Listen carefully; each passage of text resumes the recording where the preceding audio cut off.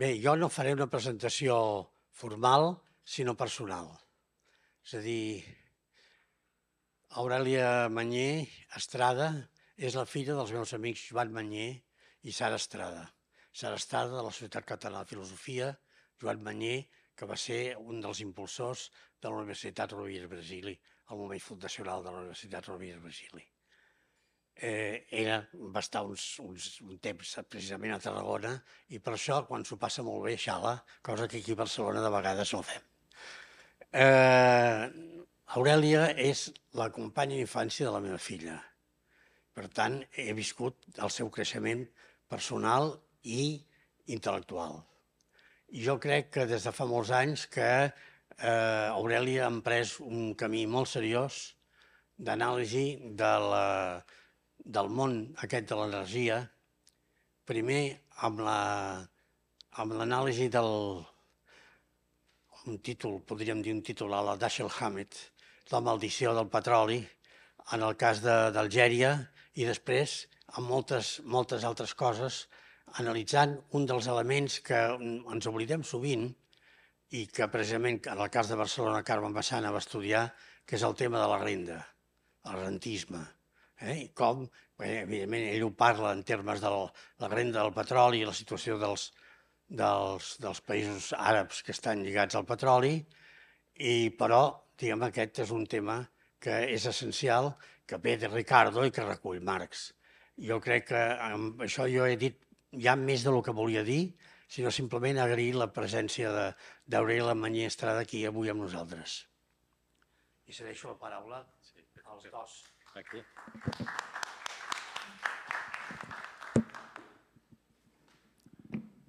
Bueno, res, bona tarda a tothom. Eh? És una satisfacció també per mi presentar aquesta, aquesta xerrada eh, per, per diverses raons. No? Una d'elles és que és una iniciativa conjunta de, del grup d'economia de, marxista no? que té molta, molts anys i molta trajectòria dins de la Societat Catalana d'Economia i, de, i del grup d'Economia Ecològica i Política Ambiental que es va formar recentment, fa dos anys, eh, i ha portat eh, unes quantes activitats de, de xerrades i, i debats, no? que són dos grups que contribueixen a la diversitat de, de pensament econòmic, no? i en, ara en concret dins de la societat catalana economia, i això pues, crec que enriqueix molt a la societat eh? I, i si algú no és membre de la Societat Catalana d'Economia, doncs us animem a inscriure-us i, i a participar qui li interessi dins d'algun d'aquests grups. No? El, el segon és que la, la ponent és Aurelia Manyer, que és companya i amiga de, de la Facultat d'Economia i Empresa de la Universitat de Barcelona de, de fa molts anys i en qui, en qui hem treballat molt amb les jornades d'economia crítica i durant uns anys, i des de fa bastants anys també, editant la revista d'Economia Crítica, no? que és una revista online de lliure accés, no? que si, si us interessa podeu, podeu entrar, no? perquè hi trobareu pues, articles acadèmics d'economia de, heterodoxa, traduccions d'autors clàssics d'economia de, heterodoxa amb, amb introduccions al, al seu pensament. Trobareu també una, una secció de recensions que precisament coordina Aurelia. Bueno, la tercera, per suposat, és per la, la importància del tema del qual és experta Aurelia no? sobre financiarització i transició energètica, no? o més aviat diu no transició energètica, no? que és, és, sí, bueno, és un matís o una, és, és un matís important, no? eh, que tracta, bueno, com veurem, sobretot de la història dels mercats internacionals, especialment del petroli no? I, de, i de temes de tanta actualitat com el que ja anomena amb molt bon criteri, crec, la tendència a la petrolització del, del mercat del gas, no?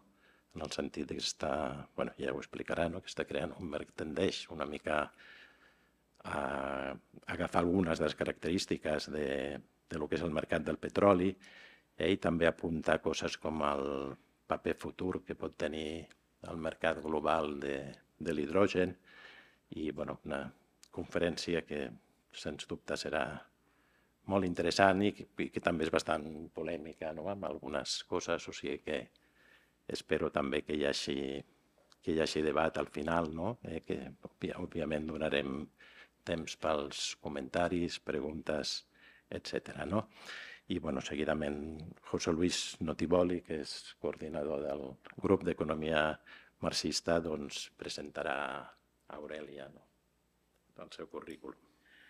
Hola, bona tarda. Uh, a veure, primer de tot agrair a l'Aurelia que, que hi sigui aquí amb nosaltres i sí que voldria explicar abans de parlar de, breument del seu, del seu currículum, sí que voldria parlar també de com vam arribar aquí, molt, breu, molt breu, eh? com vam arribar a fer aquesta conferència, no? Eh, perquè vam plantejar el tema de l'energia com un tema superimportant en aquests moments, la transició energètica és un problema que és evident, i aleshores van començar a, veure, a delimitar de què es parlava, no? a concretar de, de què, de què s'anava a parlar. Aleshores, l'oferta que ens va fer Aurelia i que ens va agradar moltíssim és parlar de la financiarització de, de la transició energètica. No? De la... Aleshores, aquest tema és, per mi és molt important perquè és un tema que no surt. Nosaltres habitualment estem parlant de temes tècnics hi ha un problema tècnic per tirar cap endavant determinat tipus d'energia renovable i de la transferència i de la transició energètica. I de la financiarització no es parla. Vale? I aleshores vam trobar que aquest tema, evidentment, era de molt interès i intentar despertar-lo i intentar desenvolupar-lo i, bueno, i expandir-lo. No? Ara parlaré un momentet, faré un resum del que és el seu currículum per emmarcar l'activitat d'Aurelia. No? És professora titular de la Universitat de Barcelona, on imparteix assignatures relacionades amb la política econòmica i amb els sistemes i les relacions energètiques internacionals. Ha estat professora associada de la Universitat de Denver, amb assignatures com relacionades amb l'energia, desenvolupament i la democràcia.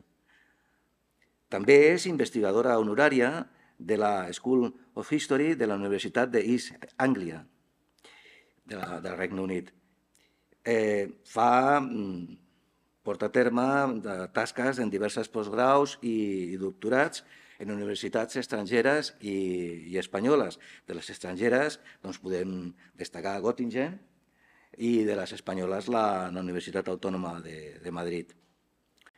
És creadora, va ser creadora i és directora de l'Observatori d'Àsia Central de Casa Àsia, i a més a més és membre de grups de recerca com el Grup d'Anàlisis de la Transició Econòmica i Grupo d'Estudio de les Societats Àrabes i Musulmanes Contemporànies.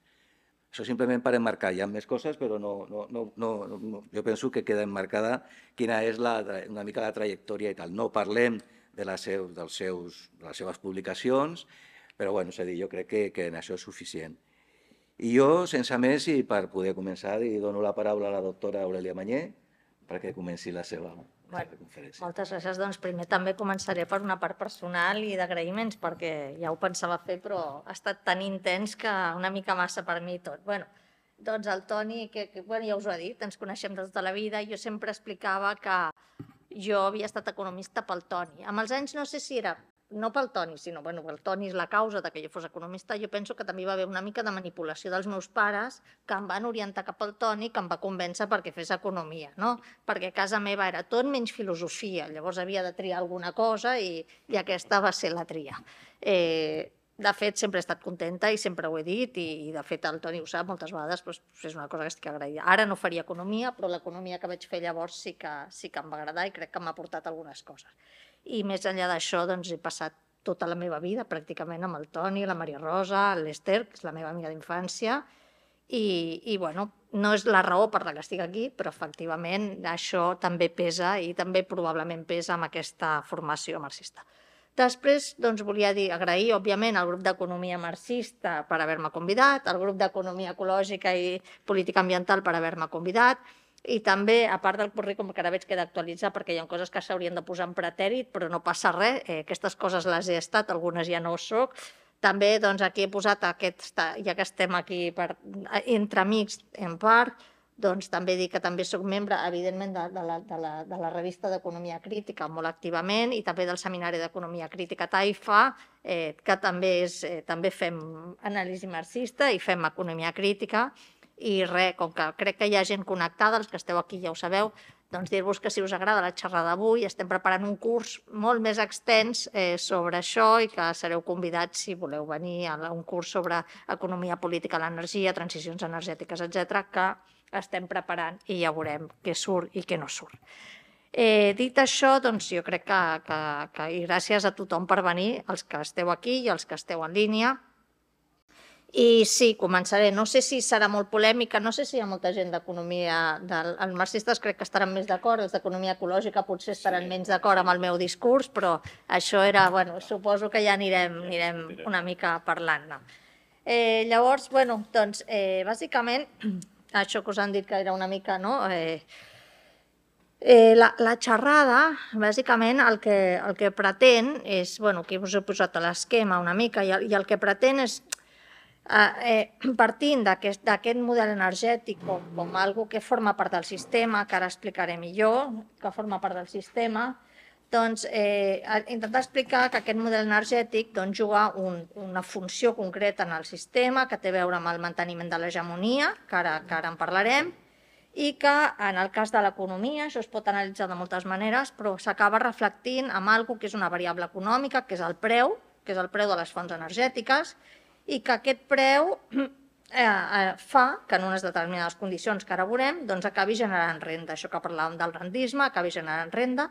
Aquesta renda, que els que tenim una certa edat, els que estem aquí, crec que tots tenim una certa edat, els que estan en línia, no ho sé, doncs anomenàvem, es converteix en petrodòlars, eh, ara es parla de fons sobirans, però de fet serien els petrodòlars, i bàsicament aquesta idea de la financiarització, que no sé dir-ho com m'han dit que ho he de dir, però bueno, la financiarització, eh, doncs que que aquesta financiarització el que fa és, té una funció també sistèmica, que és la part que, que, la, que se sol analitzar menys, és a dir, aquesta part financera que juguen els models energètics, que en el nostre cas és el manteniment d'uns desequilibris, el que s'anomena els desequilibris globals, és a dir, economies amb grans dèficits que poden seguir existint, començant per la d'Estats Units, perquè van rebent finançament constant de l'exterior, que seria aquesta idea de la financiarització, i, per tant, el que plantejo, el que plantejo en aquesta xerrada és una mica dir, bueno, eh, si el model del petroli té aquesta funció de, finançar, de, finanç, de finançar el sistema,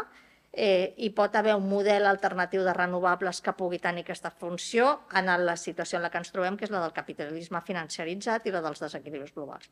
Llavors, la meva conclusió ja l'avanço, ja estava en el títol, és que no, que en les condicions actuals no, però que d'alguna manera sí que s'està plantejant doncs, alternatives a, a, a algo que s'anomenen sistemes de renovables, algun ja s'ha esmentat aquí, doncs aquesta part de transició que és la petrolització del gas, eh, o la, geopolítica, la nova geopolítica de l'hidrogen, que sembla que seria com anar cap a una transició, però que jo crec que no, però de totes maneres aquests, aquests són els tres temes que portaré al debat. I aquest seria una mica l'esquema de la xerrada. Com que m'han dit que m'estigui quieta perquè m'estan gravant, doncs intentaré no... no...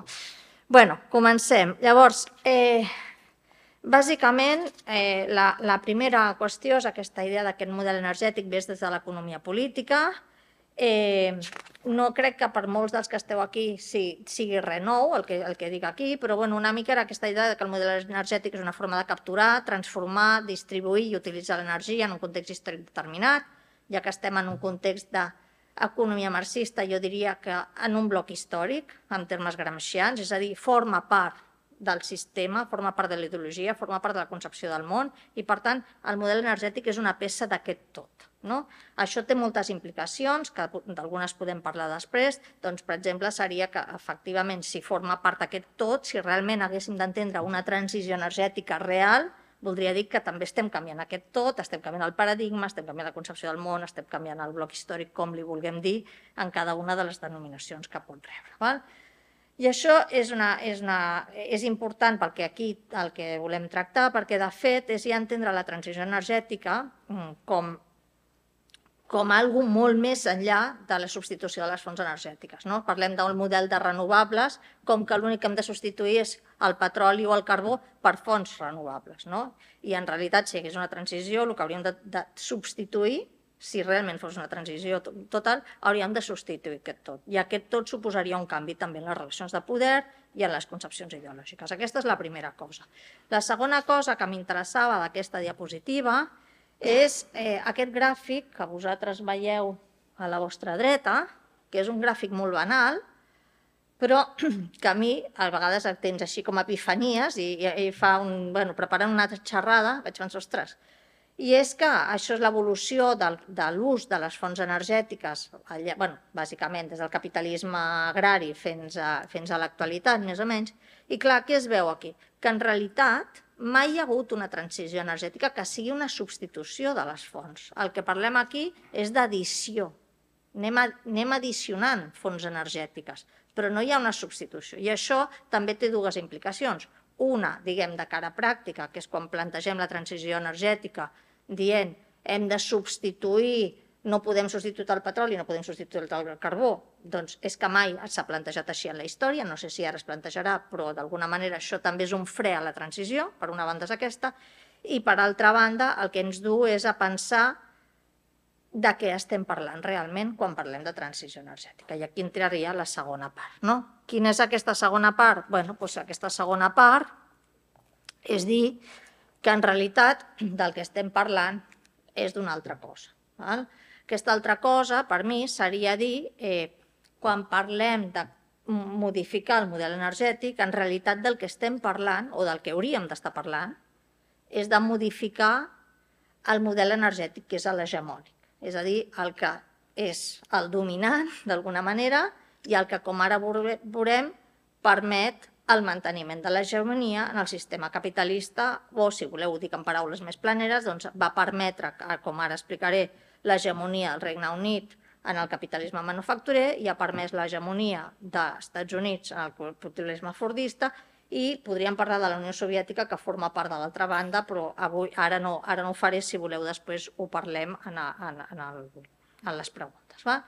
Llavors he triat això, aquest extracte. Aquest extracte és un extracte de, pels economistes que esteu aquí i els que deuen estar, doncs és del, del Gibbons. El Gibbons és un dels grans economistes, és dels grans economistes, diríem, marginalistes, de fet és un dels pares del marginalisme i per tant d'alguna manera del que després acabarà esdevenint l'economia neoclàssica, però Gibbons té un llibre, que és aquest, de la qüestió del carbó, que és un llibre molt conegut sobretot pels d'economia ecològica, perquè entre les coses que planteja, planteja la famosa paradoxa de Gibbons, que la paradoxa de Gibbons el que ve a dir és que com més eficients som en l'ús de les fonts energètiques, més n'utilitzem i, per tant, no serveix de res eh, reduir o ser més eficients en el, en el seu ús perquè eh, n'utilitzarem més i, per tant, l'única opció, i d'aquí l'economia del decreixement, és utilitzar-ne menys i ser menys i, i créixer menys. Jo no, no, no parlo d'això quan parlo de, de Gibbons,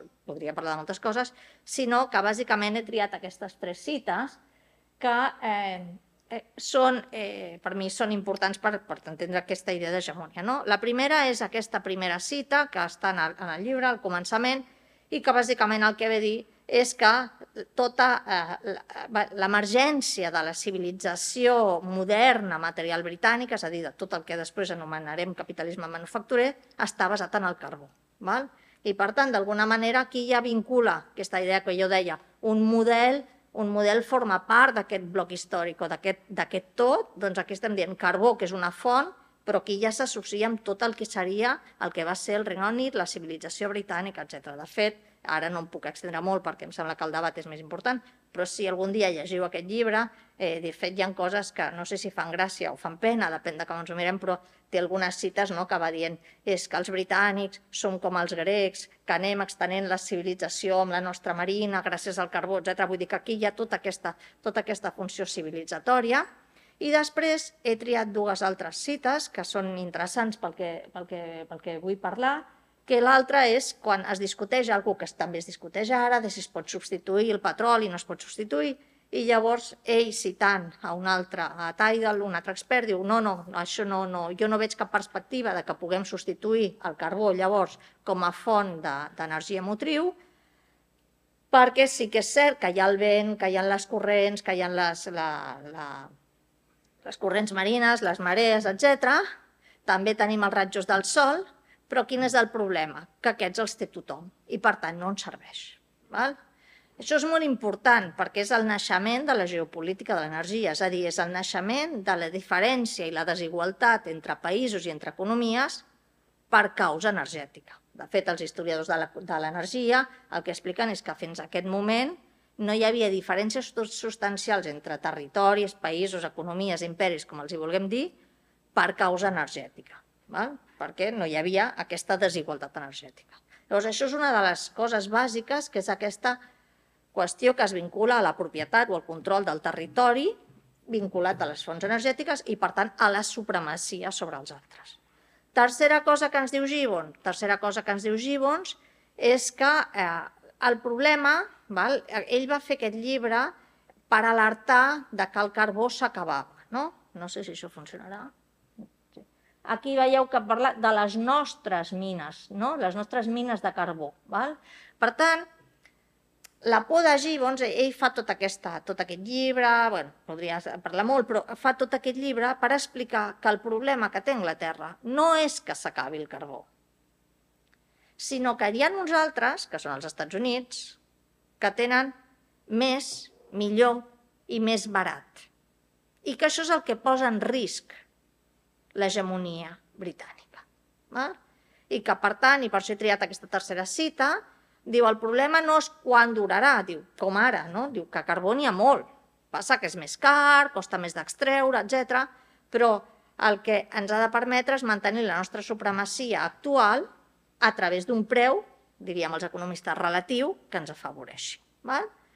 Per tant, aquí ja és tota aquesta història que, que, que, que és la que nosaltres hem heretat, que sempre quan parlem d'energia, un, parlem de fons, d'una mercaderia que ens permet fer això, i dos, parlem del preu. Diem, no és competitiu, és massa car, els costos.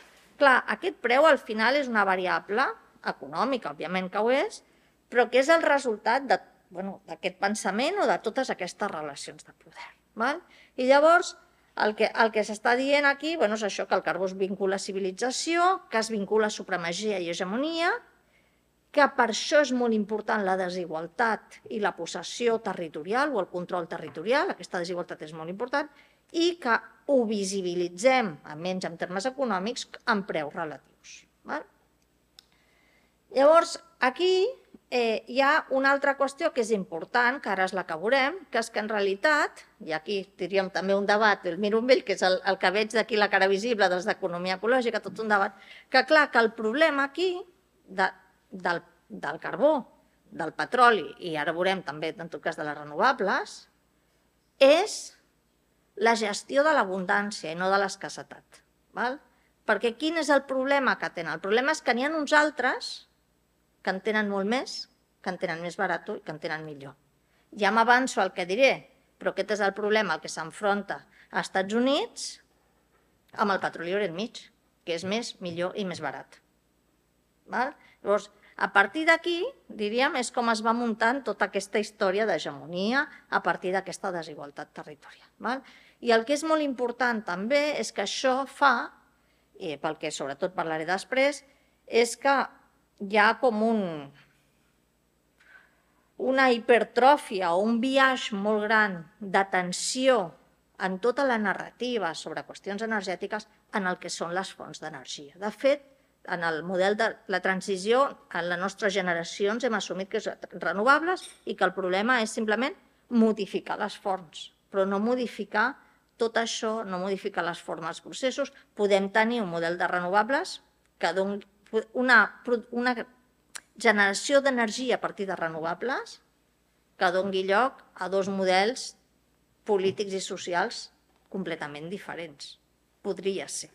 Val? I, per tant, d'alguna manera cosa que amb els models fòssils és més difícil, però no ho és amb el cas dels renovables. Llavors, això és el que, el que realment és important aquí i és entendre que des d'aquest moment al moment de la revolució industrial i, i sobretot en la narrativa energètica econòmica des de Gibbons, es vincula eh, control d'una mercaderia que és una font energètica a manteniment de l'hegemonia i, per tant, també de la supremacia i el manteniment de les desigualtats o de la geopolítica de l'energia. Per tant, anant cap a coses més econòmiques, no? el funció del preu en el, en el petroli, en el, capi... bueno, el preu, en qualsevol cas, qualsevol preu. En el cas del petroli és més fàcil de veure que en d'altres, però el preu és una variable econòmica, però en realitat darrere sempre hi ha relacions de poder. És a dir, eh, quan tu vas a comprar, quan eh, parles amb el teu subministrador elèctric, quan es negocia eh, a quan es paga el petroli, a quan es paga el carbó, tot això d'alguna manera són relacions socials, per tant són relacions de poder, hi ha gent que té més capacitat d'influir, gent que té menys capacitat, i el preu al final serà això. Val? Això en qualsevol cas. En el nostre cas, en el cas de l'energia, bueno, hi han dues coses. Una que ja l'he avançat. Una és que eh, el preu en aquest model energètic, ara ja estic anant cap al petroli, que és el model que he definit com a hegemònic, perquè permet mantenir l'hegemonia, l'instrument, un dels instruments que permet mantenir aquesta hegemonia és el control del preu. Vale? Per què? Perquè, com ja diu el Gibbons, aquesta és una altra cita que ve, ve a dir el mateix que abans, doncs la, la grandesa d'Inglaterra depèn de la superioritat del seu carbó en termes de preu, de qualitat sobre el d'altres nacions. I, per tant, quin és el joc? El joc seria, l'ideal, poder mantenir aquest preu per sobre, sí, poder controlar aquest preu perquè jugui en benefici propi en relació a la resta. Val? Aquesta és una cosa.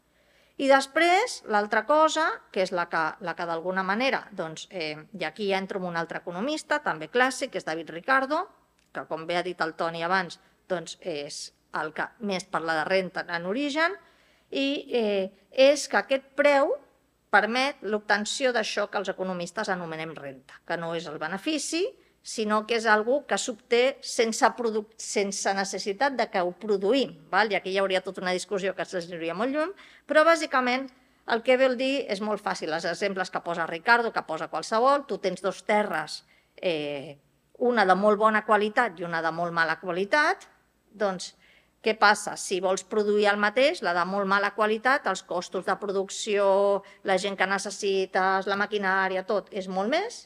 Per tant, el cost de produir això és molt més car. I llavors, aquest que té la terra de molt més bona qualitat, li costarà menys produir el mateix.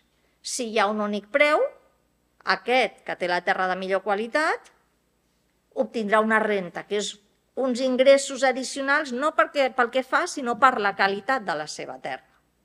I en canvi l'altre doncs, simplement obtindrà un benefici quan vengui aquest blat o aquest vi, vull dir, també el Ricardo posa els exemples de les vinyes del Rothschild, etc. No?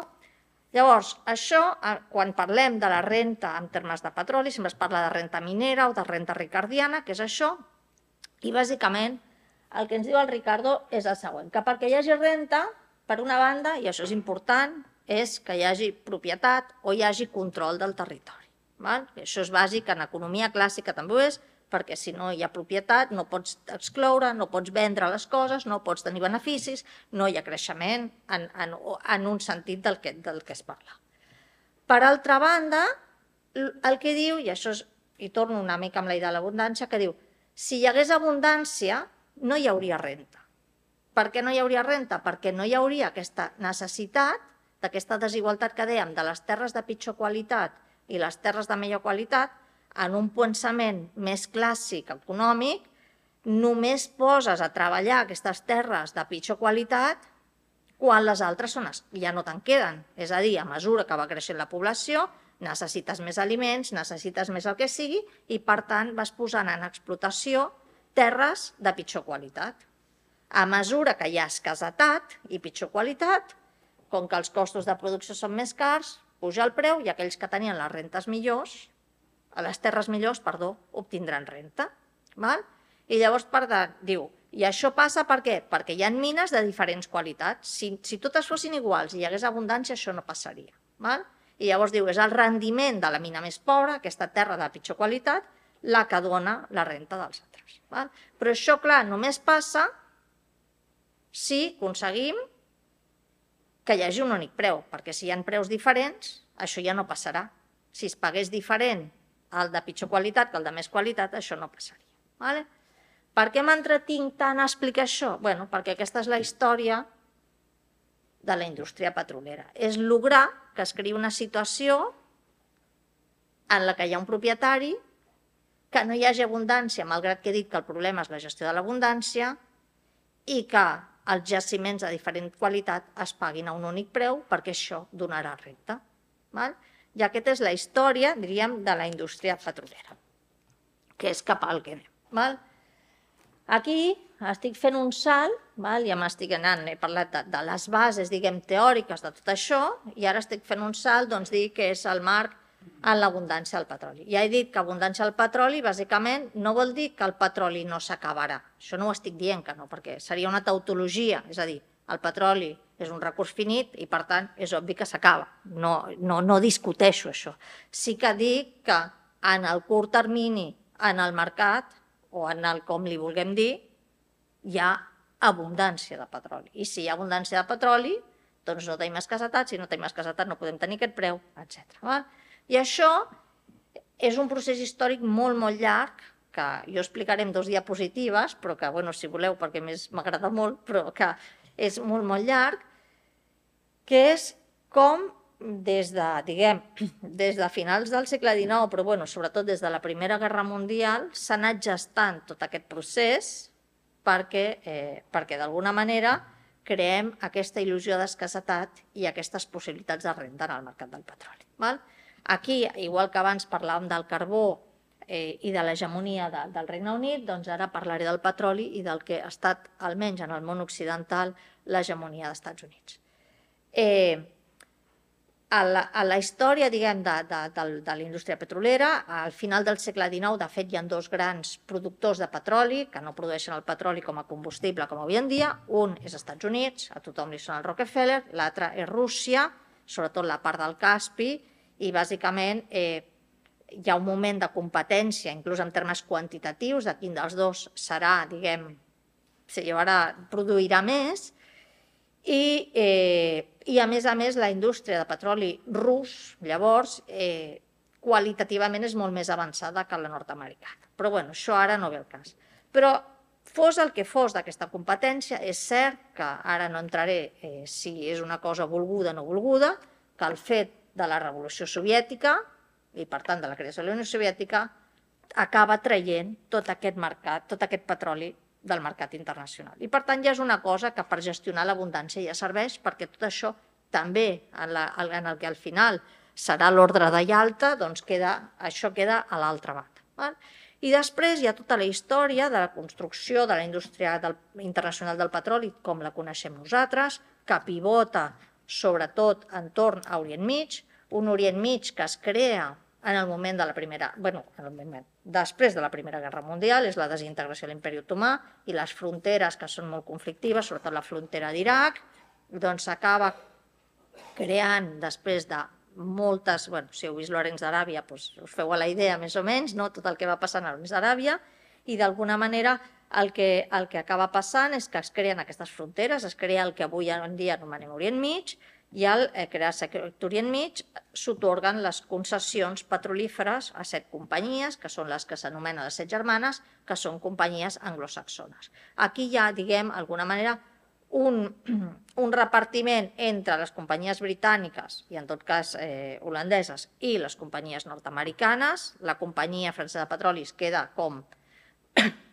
la, participa però no decideix, perquè ens entenguem, i eh, el que fan d'alguna manera és assegurar el control d'això que dèiem del nostre petroli, d'aquest territori, això que sempre hem dit, no? el nostre petroli, i queda eh, com encapsulat en aquesta zona d'Orient Mig, que d'alguna manera s'acaba designant com una zona que serà per produir allò que jo anomeno petroli internacional, que què vol dir? És petroli que no és per ser utilitzat internament, és petroli que només s'extraurà per ser utilitzat a l'exterior.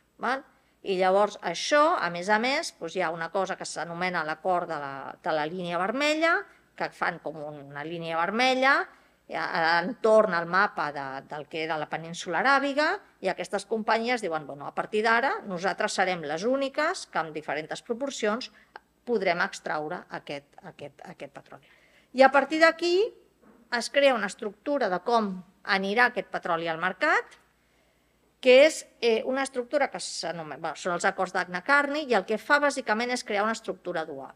El que es fa és dir, aquest petroli, que és millor, més barat i més abundant que el dels Estats Units, no competirà amb el dels Estats Units.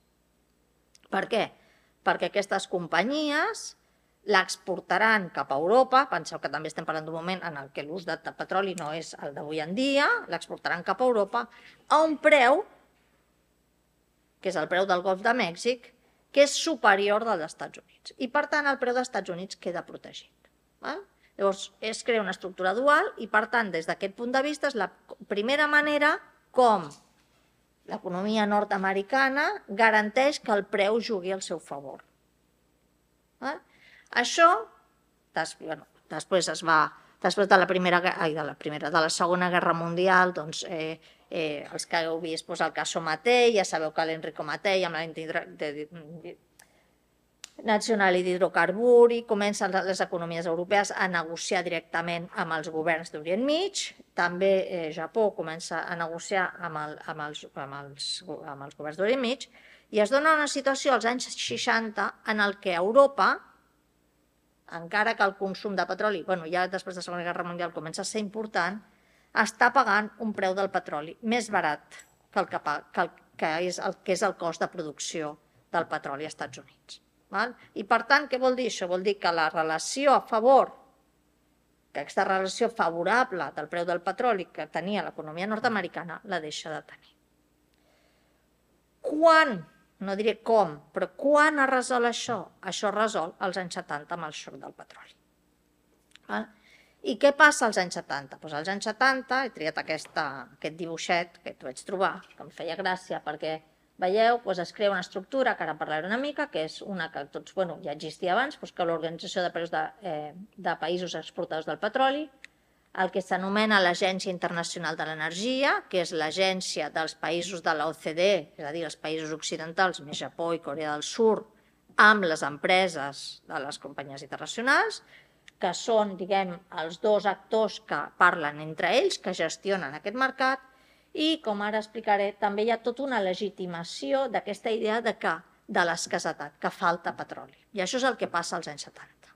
Val? Després anirà a passar. Llavors, ara, eh, diguem, en la història de, de, de, de l'augment de preus dels, dels anys 70 hi ha com dues interpretacions que no són contradictòries, jo diria, però n'hi ha una que es diu més que l'altra. Una és que Aràbia Saudí, unilateralment, a l'any 73 decideix aturar les exportacions de petroli a resultat de la guerra del Yom Kippur i per boicotejar aquells països que recolzaven a Israel en aquesta guerra, cosa que probablement sigui veritat, però havent passat això, passen altres coses que són les que ara us passaré a explicar. Val? He portat algunes dades, poques però prou il·lustratives. Val? La primera és aquesta. Val? Els anys 70, això és el petroli, us he dit que Estats Units estava, el, el petroli dels Estats Units estava aïllat, hi havia com dos mercats, el mercat internacional amb un preus, amb uns preus, Europa comprava un preu, Japó comprava un altre preu, etc. i Estats Units, i als Estats Units no comprava petroli fora. Val? Aquí comença a comprar una mica fora i a partir de l'any 70 compra, comença a comprar massivament petroli a l'exterior. Per tant, a l'hora que puja el preu del petroli, els compradors o la refina, el refina, bueno, els que refinen als Estats Units comencen a comprar massivament petroli a l'exterior. Això té diverses lectures. Una, doncs, que això pot fer que pugi els preus, però en qualsevol cas, eh, sigui o no sigui això, el que sí que té la lectura és cada cop això vol dir que als Estats Units a través de les seves compres o l'economia nord-americana o els importadors de petroli dels Estats Units poden convertir-se en un gran jugador en l'escena petrolera internacional i tenen capacitat d'influir sobre els preus perquè es converteixen en el primer comprador de petroli internacional. Vale? I això és algo que, que, que no passa fins als anys 70. La segona cosa que passa, que, és, que té a veure amb tot el que hem estat parlant, això és de, de després, però és igual, això són els dos preus, el preu dels Estats Units i el preu internacional. I des d'aquell moment, des de l'any 73, els preus dels Estats Units i els preus internacionals van a la part. Val? I per tant això, en els termes que jo estava plantejant fins ara de dir hem de fer que el preu jugui al nostre favor, bueno, aquí no juga al nostre favor, però no juga en contra. És a dir, si el reste del món compra el petroli al mateix preu que el compro jo, jo tinc producció, no hem d'oblidar que el, els Estats Units és un dels primers productors de petroli del món, i a més a més tinc molta capacitat d'influència en el mercat internacional, al final puc fer que el, patró, que el preu, si no em juga a favor, no em jugarà en contra.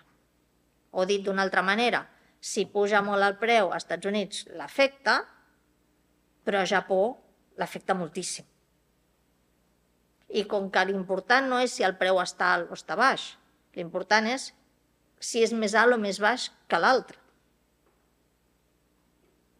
Vale? Llavors, això és el que passa també als anys 70, s'unifica. I clar, fixeu-vos que l'altra cosa que passa als anys 70, que és algo que no... Que és que, quin és el preu aquest que ens passem la vida? El preu del petroli puja, el preu del petroli baixa. És un petroli que és el barril Brent, que és el preu internacional del petroli, que és el preu al que més o menys es negocien, o almenys estan indexats tots els contractes de petroli. No comprem preu de petroli a preu d'Aràbia Saudí. Comprem petroli, bueno, jo no compro res, però vull dir, qui compri petroli el compra a preu internacional. Val? Llavors, què passa als anys 70? Quan es pugen els preus del petroli i s'alineen els preus del petroli, creem aquest preu internacional. Per tant, què estem fent? Amb això que hem fet? Hem fet diverses coses. Teníem ja assegurada de l'etapa d'abans un control territorial de les fonts energètiques. No és com a Anglaterra, que el carbó està a Anglaterra, però sí que és en un territori que nosaltres controlem, que és Orient Mig. Nosaltres, a través de les nostres companyies, etc. Després hi haurà la doctrina, però etc. Això és el primer. Segon, segon que passa, creem el mecanisme per poder incidir en aquest mercat, com? Doncs convertir-nos en el primer comprador del món. Val? I segon, alinem els preus i fem un preu internacional. Per tant, en termes de manteniment de la meva hegemonia no hi ha problema, perquè almenys els altres no tenen un preu més barat que el meu, i jo tinc més capacitat d'influir, inclús tinc petroli propi, per tant, si el necessito el puc fer servir, i creo un preu internacional que, a més a més, està al Mar del Nord. El Brent és un espai que està per aquí, no sé dir-vos exactament on, però està per aquí. Això és Brent, és uns jaciments al Mar del Nord i, per tant, el que estem fent és crear un preu internacional, que vol dir que més o menys indexarem tot el preu en funció d'aquest eh, i, de, i que estarà alineat als Estats Units, i que al final quin és el resultat d'aquest preu? Pues el resultat d'aquest preu és que aquells jaciments de millor qualitat, com ens deia el Ricardo, els pagarem al preu de pitjor qualitat. Vale? I per tant, què ens està dient això? Que estem generant les, els mecanismes per la generació de renda a través del petroli. Vale? Això és el que, això és el que, això és el que, el que passa als anys 70. El que passa als anys 70 és que es produeix aquesta unificació del mercat i, a més a més, es fa creïble... Ui, perdó, m'he equivocat. Això passa sempre, eh, amb aquestes coses. Ara. Es fa creïble que hi ha escassetat malgrat haver-hi abundància, per què? Perquè els Estats Units comença a importar i, a més a més, si recordeu, i aquí ja he dit que per, mirant les, les cares de la gent tots ho recordem, doncs eh, és el moment en què es parla ja del pic del petroli als Estats Units, es diu que ja està, que s'ha arribat al pic, és el moment de l'informe del Club de Roma, és el moment que geopolíticament a Foreign Affairs i, i, i comencen aquests articles de aquest cop el llop sí que està aquí, eh, ha arribat el llop, s'acaba el petroli i per tant, i l'OPEP, vist que, que l'explicació de per què pugen els preus és que Aràbia Saudí unilateralment ha decidit fer aquesta retallada, també fa creïble aquesta idea d'escassetat. I per tant es compleixen tots els requisits del que seria l'obtenció de renda. I després i això és el més interessant de tot. Què passa al 73? L'altra cosa que passa al 73 és que tot el petroli passa a pagar-se amb la mateixa divisa, cosa que fins ara no era així. Val? I tot el preu del petroli es passa a pagar en dòlars. I per tant, no només tenim renda, sinó que tenim renda en dòlars. Vale? Llavors, el tenir renda en, en dòlars, bàsicament, el que vol dir és que, bueno, pues que, que, que tenim una renda, tenim un preu únic, per tant, tothom paga el mateix preu, tot el petroli es paga el mateix treu, vol dir que, encara que és molt més barat extraure petroli d'Iraq, es paga preu del Mar del Nord, i per tant això genera renta, i a més a més tota aquesta renta que genera, que és aquest accés de, de liquidesa, es passa a pagar amb dòlars. Val? I això per què és important? Bueno, perquè és important perquè això vol dir que d'alguna manera podem entrar en una cosa que els economistes anomenem no? la, la, el reciclatge dels petrodòlars. Però abans d'això, quatre coses, poden ser, podrien ser més, eh? n'hi ha moltes més, però no em vull extendre. Per què serveix això als anys 70 a nivell del sistema econòmic, del que és, sobretot del que és l'economia nord-americana? bueno, la primera cosa és que sabeu que als anys 70, als Estats Units, doncs és el moment de la guerra al Vietnam, és un moment de grans dèficits, és el moment que salta el sistema monetari internacional pels aires, i per tant, d'alguna manera, un problema que hi ha aquí és que hi ha un excés de dòlars. Un dels problemes és un excés de dòlars i, per tant, si tothom comença a pagar el petroli amb dòlars, com que la gent necessitarà dòlars, doncs compensarà això. Vale? I, per altra banda, si aquests dòlars que es gasten a Aràbia Saudita, dic Aràbia Saudita perquè és l'altre primo inter pares pels països de l'OPEP, doncs què pot fer? Que aquests dòlars, com que sobren molts dòlars, que són aquests petrodòlars, s'han d'invertir en algun lloc. I com ho fem? Doncs comprem lletres del tresor nord-americà i això ens ajuda a finançar la guerra del Vietnam i les despeses socials que puguem tenir. I, per tant, d'alguna manera, és l'inici d'aquest moviment, que ara comentarem una mica més, que és doncs, que no passa res, i de fet això als Estats Units sempre ho han dit, no passa res per tenir molts dèficits, per estar, per, perquè estan endeutats amb l'exterior, per què? Perquè sempre tenim finançament de fora que ens ve. I una de les coses que ara explicaré és que bona part d'aquest finançament té el seu origen en el petroli. Vale? Segona qüestió, per què és important? Bueno, perquè en aquell moment eh, en tot el context, recordeu que als anys 70 doncs és tot, encara hi ha tot el tercer mundisme, aquesta idea d'industrialització en els països no, del tercer món o països no alineats, alguns països no alineats i països del tercer món, que no és exactament el mateix. Eh, I, de fet, el petroli, el xoc del petroli acaba amb la possibilitat d'aquests moviments d'industrialització nacional del tercer món, en dos àmbits. En l'àmbit de les economies petroleres, ara penso en Algèria, que és amb la que sempre penso, perquè el fet del xoc del petroli posiciona economies, per exemple, com Algèria, en el marc de l'OPEP i entrar en, aquesta, en aquest cicle multilateral del que ja no té escapatòria, d'alguna manera, i per tant, qualsevol intent d'industrialització que hagués fet doncs ja no paga la pena, clar, si et toca la loteria doncs ja no, ja no treballes d'alguna manera, i per altra banda perquè eh, com que hi havia un accés immens de petrodòlars, és a dir, aquest accés de, etc., doncs com, com alguns dels que esteu aquí sabeu bé, doncs es va haver de reciclar, se'ls va haver de buscar ocupació aquests aquest accés de divises, aquest accés de divises va anar cap als bancs eh, d'Estats Units, els bancs d'Estats Units van deixar diners a les economies d'Amèrica Llatina, les economies d'Amèrica Llatina es van endeutar quan van pujar els tipus d'interès, això va generar la crisi del deute a Llatinoamèrica, a Llatinoamèrica i, per tant, es va acabar qualsevol estratègia d'industrialització autòctona i, a més a més, que és el tercer punt, doncs d'alguna manera això va fer que entressin els plans d'ajustament estructural tot el paquet de polítiques econòmiques neoliberals que és entorn al que s'anomena el consens de Washington i això va fer que també, si hi havia qualsevol alternativa, per no esmentar la coincidència doncs, que el mateix any que puja el preu del petroli és el mateix any que a Xile eh, doncs, hi ha el cop d'estat i acaben amb Allende, que també és l'any 73, i a partir d'aquí tenim tota aquesta escalada.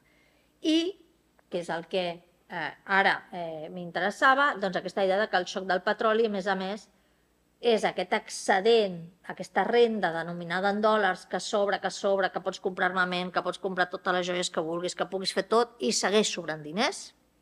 segueix sent diners i, per tant, és l'origen del que avui en dia anomenem, bueno, jo anomenava la financiarització i m'han dit que ara en català he de dir la financiarització, però vaja, crec que és el mateix, de, eh, de l'economia.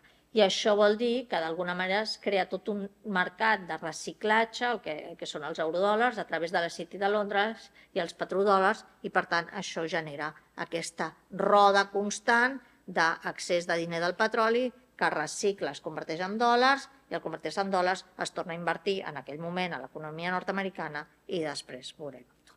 I això, que podia ser algo que era conjuntural als anys 70, acaba convertint-se en quelcom estructural i el que és el que defineix avui en dia eh, el nostre, la nostra forma de funcionament. Eh, he portat la portada del llibre del, del Varoufakis, el Minotaure Global, bàsicament perquè, bueno, a part que crec que és un bon llibre de divulgació sobre això que estic explicant, però a més a més perquè és que la imatge és molt gràfica, és a dir, el Minotaure és l'economia d'Estats Units, que en comptes d'anar-se menjant joves doncelles tot el dia, doncs el que fa és que necessiten anar devorant divises, divises, divises, dòlars, dòlars, dòlars, i per tant, d'alguna manera, això és el resultat. No?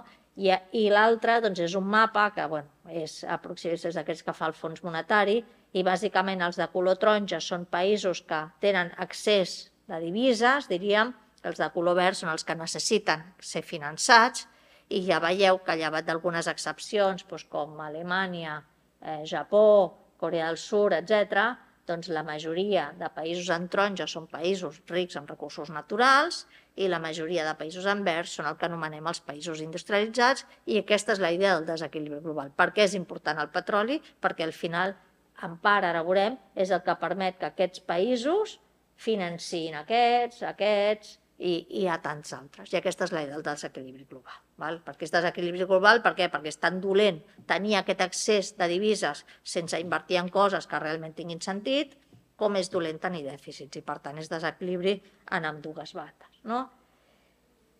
I l'altra qüestió aquí doncs, és aquesta idea de que aquesta financiarització doncs, que, que, que, que comença amb els petrodòlars no ha fet més que créixer. No ha fet més que créixer. Vale? Us he portat aquest gràfic, bueno, això són els fons sobirans, els fons sobirans és com en part es denominen els petrodòlars, fons sobirans en principi són excedents de divises de la balança de compte corrent que, no, que, es, diguem, que es converteixen en un actiu financer i s'inverteixen a l'exterior, diguem, no s'inverteixen internament i que a més tenen, eh, són sobirans perquè pertanyen als estats, als governs o a organismes eh, nacionals. I què veiem? Bueno, encara que només sigui des del 2008, abans, que no ha parat de créixer, he posat aquí una mica una referència, pues, ja el 2021, vaig mirar els del 22, bueno, estan per 11.000 i pico, però és quasi, bueno, si és 11.000 i pico, això és quasi tres vegades el PIB d'Alemanya, que Alemanya no és una economia menor, ni molt menys, és la sisena economia del món, i us he posat això per ve perquè veieu que segons aquestes, bueno, jo crec que aquí és exagerat, però és igual, encara que fos el 50%, l'origen d'aquests diners té a veure amb el petroli i el gas. Val? I per tant, això seria aquest accés de finançament, diguem, que tenim a través del petroli i el gas, que en realitat això només és la base del que després el Harvey, etc anomena capital fictici. Això, això encara és diners, que és el que es paga a partir del petroli i del gas. A partir d'aquí, això s'inverteix en actius financers que van multiplicant eh, la seva quantitat de diners. Val? I per tant, d'alguna manera, el que ja, ja vaig entrant en l'última fase, el que el que aquí ens, el que aquí ens diu és que... Ai, no, ja sabia jo. Val? Una mica la idea aquesta de que hi ha la renda al petroli que és necessària per mantenir això que esdevé estructural, perquè des dels anys 70 hem anat a més i no a menys, d'alguna manera, i que a més a més encara, inclús ara, podem parlar de transició energètica, podem parlar del que vulguem, però això és una xifra que segueix creixent i que a més és més que significativa. Eh, curiosament, bueno, no tan curiosament, si us fixeu, eh, i per això s'anomena desequilibri global, els països que estan en tron... Dalt. Els països que estan en taronja, eh, bueno, depèn dels moments, però al final són països que o bé no produeixen en el sentit de que s'extrau petroli, s'extrau gas, s'extrau coure, vull dir, perquè són països que no hi ha producció i per tant només podrien generar renda, o països, per exemple, com la Xina, que fins ara doncs, bàsicament és exportacions a través de molt baix valor afegit perquè és mà d'obra barata. O sigui, al final, res d'això és, bueno, menys Alemanya i Japó, pràcticament aquí, quasi tots aquests que estan aquí són països que en el sentit de l'economia política del valor eh, poc produeixen. Però bueno, i això és una mica el que s'anomena desequilibri global. Per tant, acabant, perquè tinguem una mica de temps del debat, bueno, pues, com ens podem plantejar la transició energètica en aquest context. Vale? El, el, el context, és dir, en el context d'aquest capitalisme financiaritzat que he plantejat, que es financiaritza, a més a més, a través del petroli per la funció aquesta sistèmica que té el petroli, pues, té sentit, eh, què té sentit? Té sentit un model de renovables. Bueno, la primera cosa que he plantejat és dir, bueno, en realitat, més que si tot renovables, és pensar si hi haurà un model de renovables que esdevindrà hegemònic, com ha estat el model fòssil en, diguem, en el capitalisme del segle XIX fins ara. Val? I, eh, i no és tant, eh, insisteixo, no és tant plantejar-se si les fonts renovables poden substituir a les fòssils, sinó simplement si hi ha un model alternatiu amb tot el que jo he plantejat. Val? Un model que s'integri dins de, de la ideologia dominant, de les formes de consumir, de les formes de produir, de les relacions socials, etc. Val? A partir d'aquí, eh, en el context que jo plantejo del capitalisme financiaritzat, d'aquesta importància del preu de l'energia o de les fonts energètiques per a mantenir l'hegemonia, més la funció que aquest preu en un context d'un mercat creat d'una determinada manera et permet de generació de renda, clar, si parlem de les fonts renovables, sobretot si parlem de sol i aire, que són les que jo veig com a possibles, diguem, massivament de producció d'energia, eh, està clar que això no pot passar no pot passar, per què? Perquè són abundants, no són escasses, no hi ha territori, no hi ha possibilitat de control, no hi ha possibilitat de propietat privada, no hi ha possibilitat d'excloure, i per tant no hi ha possibilitat de mercat, no hi ha possibilitat de preu i per tant no hi ha possibilitat de renda. I des d'aquest punt de vista, el de les fonts, no pot ser. Això sí, és un, un dels problemes bàsics que tindria una transició en el marc del capitalisme, i després, si voleu, podem tenir una altra discussió, és que en aquest viatge que es té històricament des de la revolució industrial de que el control ve de les fonts i que la civilització és per les fonts, clar, el sol i l'aire, com deia Gibbons, els té tothom, són de tothom, són abundants, com diria Ricardo, si tots fossin abundants i d'igual qualitat i no podem excloure ningú, no generem renda.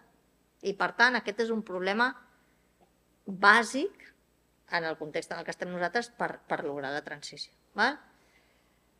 Llavors, des del meu punt de vista, òbviament, tot això que us he explicat des del meu punt de vista, doncs la transició en el capitalisme financiaritzat cap al model de renovables, almenys com jo me l'imaginaria, no sembla possible, però tampoc tampoc s'ha de tancar la porta a tot, val? i llavors, d'alguna manera, mmm, clar, aquí hi ha diverses possibilitats que es podrien plantejar. Vale? Una, que s'acabés el o sigui, que ja acabéssim amb el capitalisme financiaritzat i plantegéssim una altra cosa, però aquesta aquí no l'he posat. N'hi ha altra, que és, vist que dic que són models additius, doncs igual que avui en dia pràcticament s'utilitza tant carbó com petroli, doncs també es poden utilitzar renovables i petroli, mentre el petroli i el gas i tal segueixin el model hegemònic. Aquí no hi hauria cap problema. Val? Per tant, es pot tenir aquesta coexistència. Val? Eh, I també doncs, es pot plantejar, que és un dels temes de moda avui en dia, sobretot arran de la guerra d'Ucraïna i de, i de l'emergència de Xina, que és tota aquesta qüestió de si tenim cap al multipolarisme, si estem tornant a un context de guerra freda amb la Xina, o si, estem cap, o si ens mantindrem en un ordre unipolar, que jo crec que no ha existit mai, doncs també podríem plantejar-nos que potser, si té això, hi hauria un model energètic multipolar. Val? També penso que, bueno, això només ho dic, faig un parèntesis abans de seguir, que no ho he dit, però una mica va de suar, que és que en aquesta, si seguim el fil del que he anat dient, igual que dic que el Regne Unit va ser hegemònic amb el carbó, Estats Units va ser estat hegemònic amb el petroli, la Unió Soviètica la seva manera també amb el petroli, clar, eh, si pensem en la Xina li haurem de buscar un model energètic, perquè si no, no serà hegemònica. Aquesta és una altra cosa que també eh, en, aquest, en aquesta línia de pensament, eh, això és, és, pot dir per, per si volem parlar després, però no trenca el fil, el fil narratiu del que estic dient. Bueno, I en aquest context és l'última part, que és la part més que obriré el debat, doncs volia plantejar tres coses que li han donat tres trampes del sistema, però n'hi podrien haver molt més. Val? Una, que és la que ja ha apuntat abans el, el, el Jordi, que és eh, una mica, bueno, aquí ho he posat, boicotejar el model energètic multipolar, eh, creant noves fonts de renda, doncs, bueno, una cosa del que alguns dels que esteu aquí m'heu sentit parlar moltes vegades, que és aquesta idea de la petrolització del, del, del, del gas, val? la petrolització del gas, bàsicament una cosa que sí que, que ha passat aquests darrers, bueno, aquests darrers mesos, ja venia passant, però clarament amb la guerra d'Ucraïna, és això, i això bàsicament el que vol dir és que avui en dia eh, el comerç internacional de gas natural liquat és més important que el de gas natural tradicional per, per, per tuberia. Val? Mm, els dos són gasos, després podem matitzar, no és el mateix si s'extrau en fractura hidràulica que si s'extrau d'una bossa, és molt més contaminant el gas natural liquat, etc en general, però bueno, el de, el de perdó, el de Qatar no, però el dels Estats Units sí, però sobretot el que és important aquí no és això, bueno, sí que és important, però del pel que jo estic parlant és que, clar, si recordeu, jo us deia abans, quan parlava de Ricardo, si hi ha dos terres que tenen qualitats diferents i es paguen a preus diferents, no passa res. Bueno, no, no hi ha renta i ningú té, diguem, en aquest sentit, l'hegemonia sobre l'altre, no? Clar, el gas per tub, els, els compradors de gas de la península ibèrica, i dic península ibèrica no per ser políticament correcte, sinó perquè el mercat del gas està integrat, eh, ho pagaven un preu a Algèria. Els compradors de gas d'Alemanya pagaven un altre preu a Rússia. I, per tant, hi havia aquestes diferències de preu. En el context que creem aquest gas natural liquat com una mercaderia, i fem que estem creant aquests mercats regionals internacionals de gas, el que estem fent és com una gran bossa de gas en què hi haurà, es tendeix cap a un preu internacional, igual que amb el petroli. Vale? I llavors això té dues conseqüències. Una és una mica la trampa aquesta de que el gas és, és una, una tecnologia de transició, perquè és discutible si ho era amb tu, però eh, diguem, això és costós, altament contaminant, i a més a més, si construïm més infraestructures per gas natural liquat, això ja ens, diguem, ens endarrereix 30 o 40 anys perquè les haurem d'amortitzar. Si encara estem amortitzant les nuclears, doncs penseu això, no? I a més a més, el que vol dir és que d'alguna manera, i en aquest cas concret clarament és el gas natural dels Estats Units, el, que, el gas liquat dels Estats Units, el que en aquest moment a nivell europeu almenys s'està quedant amb tot el mercat, doncs vol dir que Europa, aquest avantatge que es podia tenir, o les economies europees que podien tenir de pagar un gas més barat, deixarem de tenir-la i, per tant, ens integrarem en aquesta bossa, com va passar en el 73 pel petroli, i, a més a més, s'estan generant també les condicions perquè hi hagi renda amb el, petró, amb el gas, perquè està passant, el, o podria estar passant el mateix. Aquesta és una qüestió. L'altra qüestió, que a mi em té molt enfadada, que és eh, aquesta idea de... Bueno, ara és l'hidrogen, de fet, si haguéssim fet aquesta xerrada fa dos anys, haguéssim parlat de les grans xarxes elèctriques. Eh? És, és una mica el problema, és el mateix.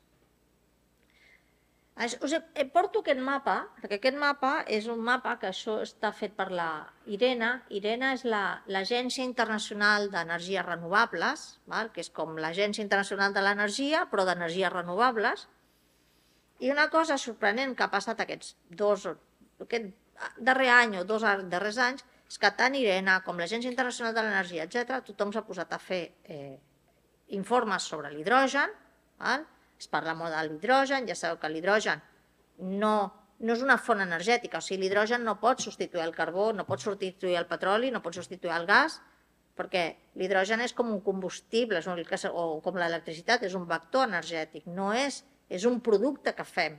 Val? I el podem fer, a més a més, a partir de petroli, a partir de gas, a partir d'energia nuclear, a partir d'energies renovables, igual que l'electricitat.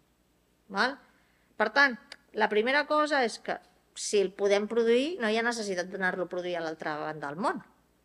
Això és la primera cosa. Però la segona és que a mi em fa molta gràcia que ja estan fets els mapes. Val? Llavors, d'alguna manera, a mi això el que em fa pensar és que, veus, és ja la regió exportadora, regió importadora, però si encara no hem començat a produir l'hidrogen. Llavors, clar, això que em fa pensar a mi? Em fa pensar que, que s'està intentant replicar la geopolítica del petroli, almenys en les relacions amb els estats, amb les energies renovables. De fet, per exemple, amb el cas de, no tant de l'hidrogen, però amb tots aquests projectes de generar electricitat al desert, al Sàhara, per portar-lo, si veiem els mapes, mira, hagués hagut de portar ja una imatge que és fantàstica, que es veu com la Torre Eiffel a costat d'uns del desert, amb els camells, etc. No? Com, com dius, bueno, estem creant el mateix estem creant el mateix, estem intentant crear el mateix tipus de relacions energètiques.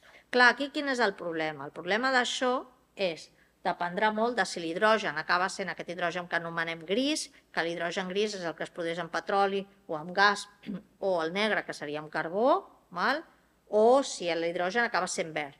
Si és gris, o, ve, eh, o, gris, o, verd, o gris o negre, o blau, que és, és igual, un d'aquests, eh, podrem seguir tenint renda d'alguna manera, perquè al final el petroli i el gas que es necessita per produir l'hidrogen seguirà generant renda igual, per tant no hi haurà problema.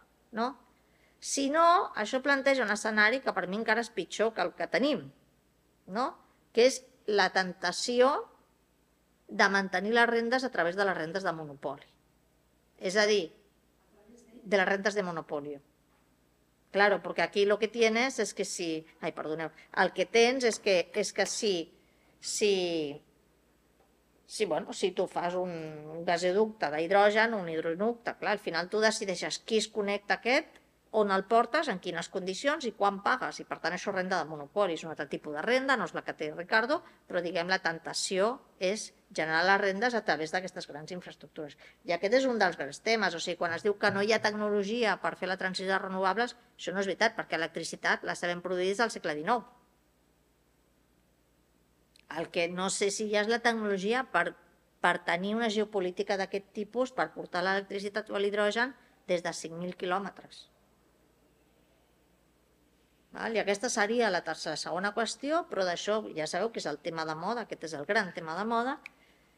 I la tercera qüestió, que aquesta és més agosarada, perquè les altres les puc justificar millor, però aquesta me l'he inventat una mica, però, però, però crec que, que tampoc mm, erro tant, que és que l'argument aquest tota l'estona de que, bueno, sí, el cotxe elèctric, però bueno, jo no penso que el cotxe elèctric sigui la solució, però és igual, ara he posat aquest exemple, però el cotxe elèctric. No, però llavors hi ha un problema que són els minerals rars, no?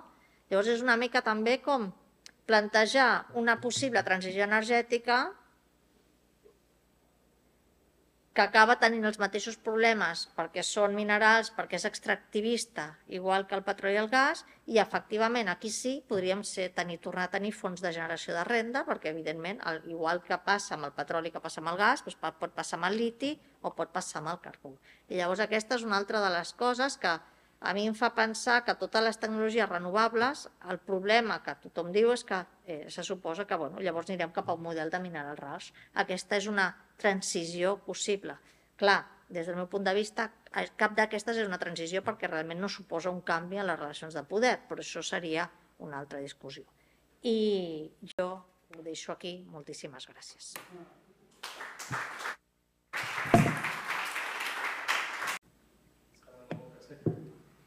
Bueno, eh, Joaquim. Sí. No són iguals d'arreu. Em sembla mi.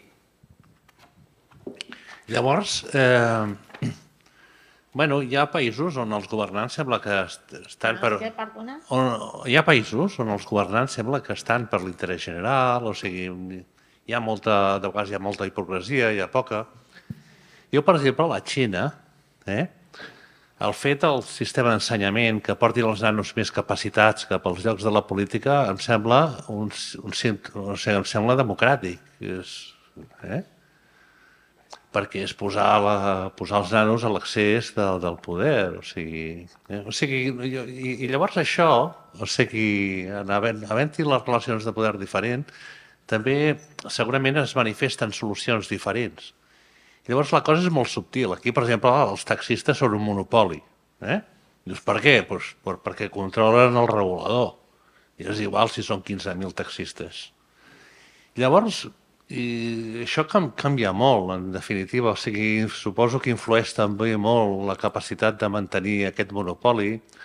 Hi ha la influència en els mitjans de, de comunicació, per exemple, quin és. O sigui, a Alemanya, per exemple, si tenen calefactors en els domicilis, deien que s'estalviaven una central elèctrica. Aquí no, no crec que hi hagi a Espanya interès per part de ningú d'estalviar-se cap central elèctrica, al contrari, perquè això es paga. No sé. Sí. Bueno, gràcies per la intervenció. Eh, jo no, no entenc molt bé el materialisme històric i jo entenc més el materialisme cultural, eh, explica més les relacions de poder. I, i, bueno, i entenc que, per exemple, el, el, els grecs van inventar la màquina a vapor, però no la van utilitzar, Perdó, qui? Els grecs van, Els grecs. van, van inventar la màquina de vapor amb el carbó, no la van utilitzar perquè tenien la mà als esclaus. No? Eh, era era una, una qüestió cultural. Mm? Eh, i, I aquí, doncs, aquí també és una qüestió cultural de que s'utilitza el petroli amb, amb uns, costes externalitzats, que és el CO2, o la indústria agroquímica, que contamina el sol, la terra o el sol, eh, i, i això és, és una cultura que, que, pot, que pot derivar en un, en un desastre, no? I llavors eh, les forces, les forces eh, eh, culturals econòmiques doncs, buscaran la manera, que busquen la manera de sortir d'aquest forat. No? El, el tema de la transició energètica és una mica això, no? sortir del forat. I eh, jo entenc que, per això entenc que, que l'enfoc ha, ha de ser cultural i la desigualtat és una qüestió cultural. Eh, i, la, I la desigualtat comença per la desigualtat home-dona. Mm? I llavors, eh, aquest, aquests, aquests aspectes, encara que siguin per mi molt complexos, molt complicats, eh, ho trobo a, a faltar. Eh? No, vull dir, no, no, no, tot és, o sigui, tota el, el, la intervenció ja que és molt aprofitable, perquè és, bueno, és clàssic, no? De, la renta dels fisiòcrates, bueno, i, i, és, és, i, i el tema de la renta i l'hegemonia que, dona, que dona lloc també és interessant. Eh? Uh, però jo crec que hi ha altres factors que és la, el cost de les externalitzacions. No?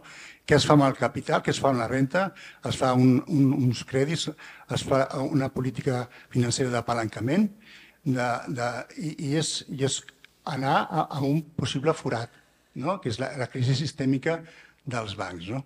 o la crisi sistèmica de, de, del suport financer que, ten, que tenen ara els Estats Units. No? Alguna pregunta? Jo tinc alguna qüestió. Algú més? Fins quina hora tenim, per cert? Fins quina hora tenim, Xavier? Fent les vuit. Jo tenia un parell de qüestions, o, o tu també tenies. Bé, sí. Bueno, una és el tema aquest del, del peak oil. eh, del peak oil, Ah, del Picoy. que, veure, o sigui, que és un model extremadament simplista i seria molt agosarat intentar defensar-lo tal qual, no? perquè és un model que, no, que certament no contempla variables econòmiques ni, ni variables polítiques, però crec que és una mica exagerat, diguem, de dir que, que en un moment determinat va sortir una mica per, eh, per interessos gairebé de la indústria del petroli, que de fet, el, perquè almenys l'article principal, jo crec, de, de Huber, d'on és dels anys 50, no? de mitjans dels 50, i el que va preveure i va encertar és que el petroli als Estats Units, clar, per el petroli convencional, després ha vingut el fracking i tot és més, molt més complicat, però que va preveure que a partir del 170 començaria a disminuir l'extracció del petroli i certament va passar així. No? Jo crec que, bueno, que és un debat, encara que s'ha difós diguem, de forma molt, molt simplista, interessant en el sentit de que, de que ja als anys 50 no?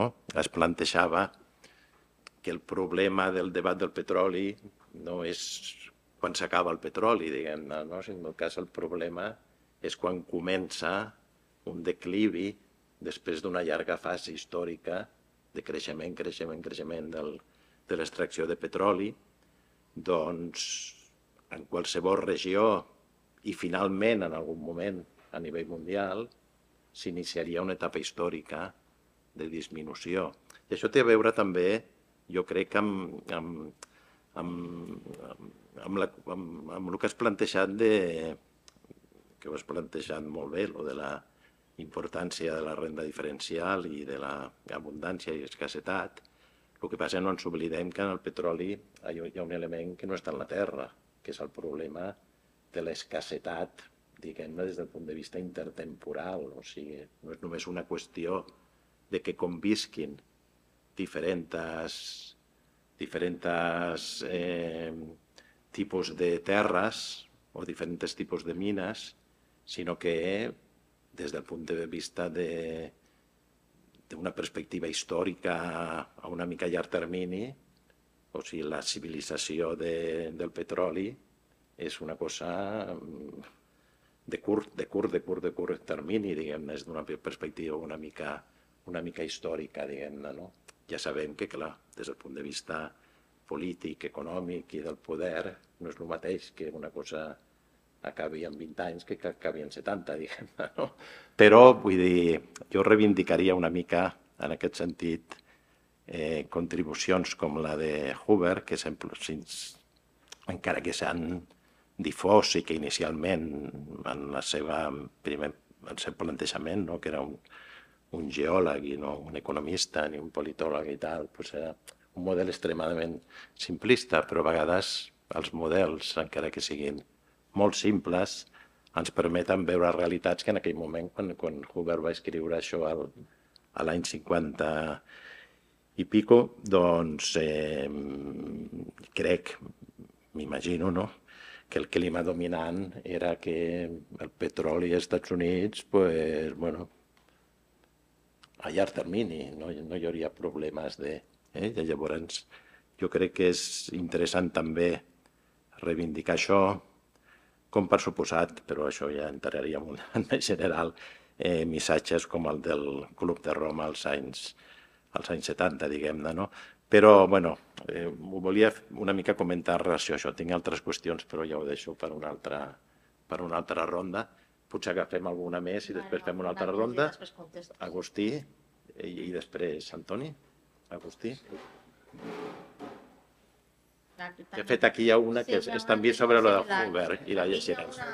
Bueno, llegim aquesta primera, no? Que és del Xavier Vilalba. Bueno, enhorabona, però és igual.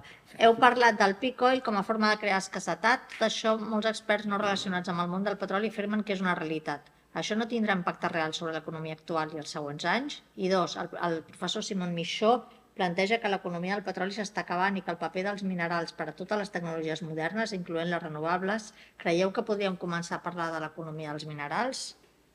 Va, més o menys va en aquesta línia i Sí, ja ho sí. recullo. Sí, la segona també Ho recullo i ho contesto. Digues, Agustí. Val. A veure, tres coses. Uh, bueno, primer felicitar-te, que ha estat molt interessant i, i hem après, jo he après molt sobre... I per tant també m'haig preso sense saber, eh, vull dir, sense tindre el coneixement de causa que, que tens tu i per això són més preguntes una mica que no pas una reflexió. No? La, la primera qüestió, eh, si ho entès una mica, eh, d'alguna forma el, el paper del petroli, de l'energia, el poder, o sigui, una, una, una potència econòmica tal com s'ha construït en el model capitalista, requereix de tindre, eh, perquè ha sigut un model capitalista de producció, no? doncs la, la competència front les altres, les altres potències s'ha construït a base de disposar d'una for força d'energia, no una font d'energia, que com tu senyalaves, no sols fos més barata que la resta, sinó que a més tu la poguessis disposar de forma diferencial respecte a la, a la resta. No? I per tant, en aquest sentit, diem el paper que ha jugat el petroli o que en qualsevol altre, o, o seguint el mateix model no? eh, productivista, necessitaríem un altre tipus de font d'energia que jugués el paper similar al petroli. No? D'alguna forma en, entenc això. No? Un segon aspecte que assenyalaves i si ho entès bé també, és que eh, aquest diferencial cal apropiar-se d'alguna forma i la forma que històricament s'ha apropiat és a través de la renda diferencial. Però, tu, però, però, jo, però aquest element, així és com el primer, segurament que si tenim un model productivista necessitem seguir tinguent una font energètica que doni aquest element diferencial, la forma d'apropiació podria ser més circumstancial és a dir, tu plantejaves al final, podries obtenir aquesta guanys no en forma de renda, sinó, per exemple, en renda de monopoli. I, per tant, seria una altra forma extractivista, no? des del punt de vista d'Afemoglu, no? vull dir, d'extreure les guanys, i, per tant, el fet de que s'hagi format d'una manera no impedeix que pugui ser funcional fer una altra. No? Un tercer aspecte amb el que tu plantejaves és eh, que, a més, eh, el fet de que en, la, en el seu moment les fonts d'origen energètic, una part important, estiguessin a països de, l'Orient, ha fet que hi ha, eh, ha fet que Estats Units, d'alguna forma, a través d'aquest flux financer, li permetés mantenir un dèficit comercial perquè el fet de que la moneda d'intercanvi internacional més important sigui el dòlar, li permetia poder-se finançar. Si la font energètica no es financés amb dòlars, potser els Estats Units no podria mantenir aquest sistema de dèficit comercial, que en el fons eh, el dèficit comercial és la possibilitat de que els americans visquin a costa, no? poden mm, de, eh, consumir més de lo que produeixen i, per tant, d'alguna forma el nivell de vida augmenta en relació a la resta de països. No? En aquest seria una mica el, a la qüestió que es planteja. Um, I, per tant, la, la transició, quan parlem en termes marxistes, és transició de no sols la reproducció, és la reproducció també de, les, de, de, les, de la relació de forces no? de poder i, per tant, el que plantejaria és que, la, que no hi ha possibilitat que el sistema faciliti una transició si no es fa que perpetuï aquesta poder. Però però n'hi ha un element aquí que, que, em sembla, que em sembla important, i és de que eh, sí que n'hi ha uns requisits, diguem, ecològics, eh, físics, que venen per un costat de que les fonts energètiques poden estar-se esgotant, els recursos, per un costat, i per l'altre perquè són causa d'una sèrie d'emissions de residus de generació que també estan alterant el, el, el sistema ambiental. I, per tant, aquesta, és a dir, independentment de que hi hagi la voluntat de buscar o no una fórmula substitutiva o no, n'hi ha un imperatiu, i és que les coses poden canviar malgrat, malgrat l'ull, no? Vull dir, d'allò. Aleshores, en aquest context, no, no has parlat, has dit que després podries parlar, però no has parlat de Rússia i Xina, no? Perquè, clar, el que es planteja com a... Eh, és a dir, i tu has situat Primera Guerra Mundial, Segona Guerra Mundial, és la competència entre les, entre les potències capitalistes, que és Estats Units i Europa. No? Però ara, si es fessin cas a Milanovic, doncs seria el capitalisme mundial i serien igualment potències capitalistes, un altre tipus de capitalisme, però el que està clar és que ara la competència en, encara que sembla que, que segueixi per algunes coses que deies, sembla entre Estats Units i Europa, però un pensaria que les potències hegemòniques que, li, que, que lidien contra el món occidental americà no, ja no és tant Europa com és sobretot Xina, no? i no sé el paper de Rússia en aquest nivell energètic que eh, la sensació de que Xina pugui generar les, és a dir, les seves pròpies fonts energètiques i que no necessiti d'Estats Units, faria que el model no sigui, no sé, quin paper jugaria això Vale. que ha canviat. Ara, Toni, no? Un moment Espera. i... Sí. O- o- que ah, faig. bueno, com vulgueu. Agafem una altra? Sí, Va, sí, com vulgueu. l'últi- L'última. Sí. Uh, em sembla que, que has, has, has traçat un panorama de baixate en esperança voi que entrate.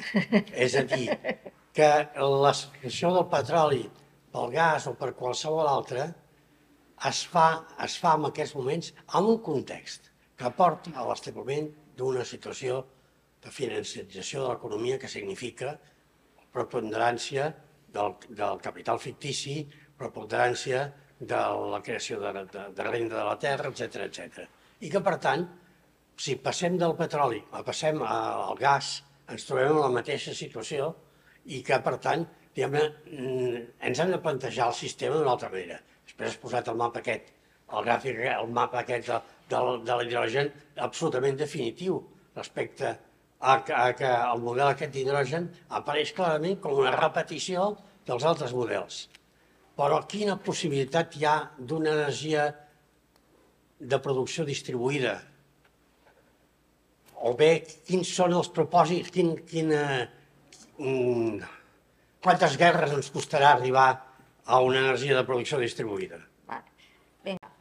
Anem. Eh, començo, ja contestaré tot, però deixeu-me que segueixi el meu ordre. Abans de contestar, Agustí, sí, em semblava que ja parlava de masses coses que havia volgut ficar, si havia de parlar de Rússia i de Xina, però ara et contestaré, vale? un moment. Començaré pel Picoil, que era obvi que aquest tema sortiria. Val?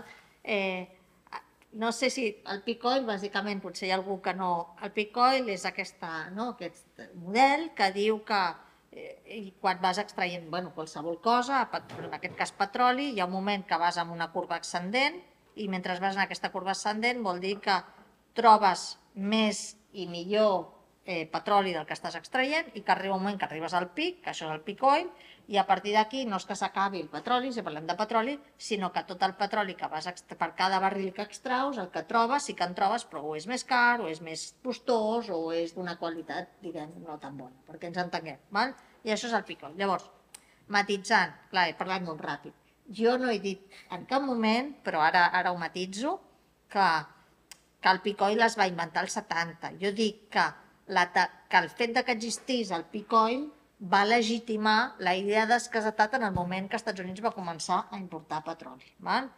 Sí que diria, que no ho he dit, però ja que m'hi poses, doncs ho aprofito, que mm, encara que coincideixo amb tu, i ja ho he dit, dic, és tautològic dir que el petroli s'acabarà, etc una perspectiva històrica. Per què? Perquè si, si per definició és finit, és que no, no pot ser altra cosa que acabar-se, o sigui, no falta parlar més sobre això.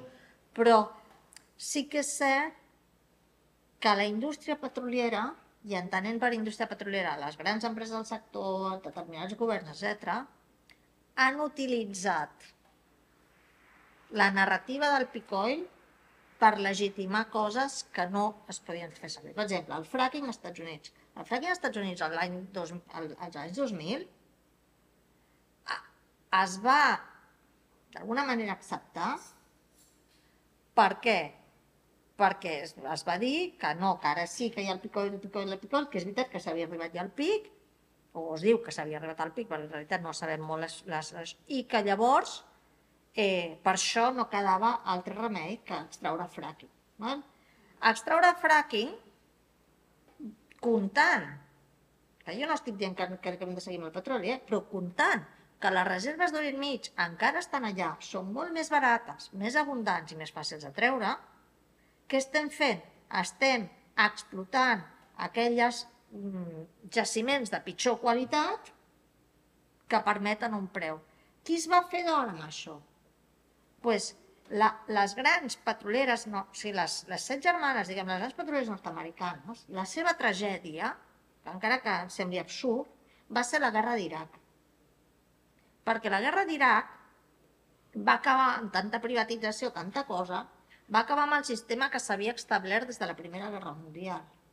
Jo sempre poso aquest exemple. Aramco, que és la companyia saudí, és Arabian American Oil Company i tenien els tubs connectats on els tenien i estaven acostumats a fer negocis, no hi havia cap problema que fos l'OPEP, perquè l'OPEP només els hi podia vendre amb ells. Tot això va saltar pels aires el 2003 en la guerra d'Iraq. I al saltar pels aires això,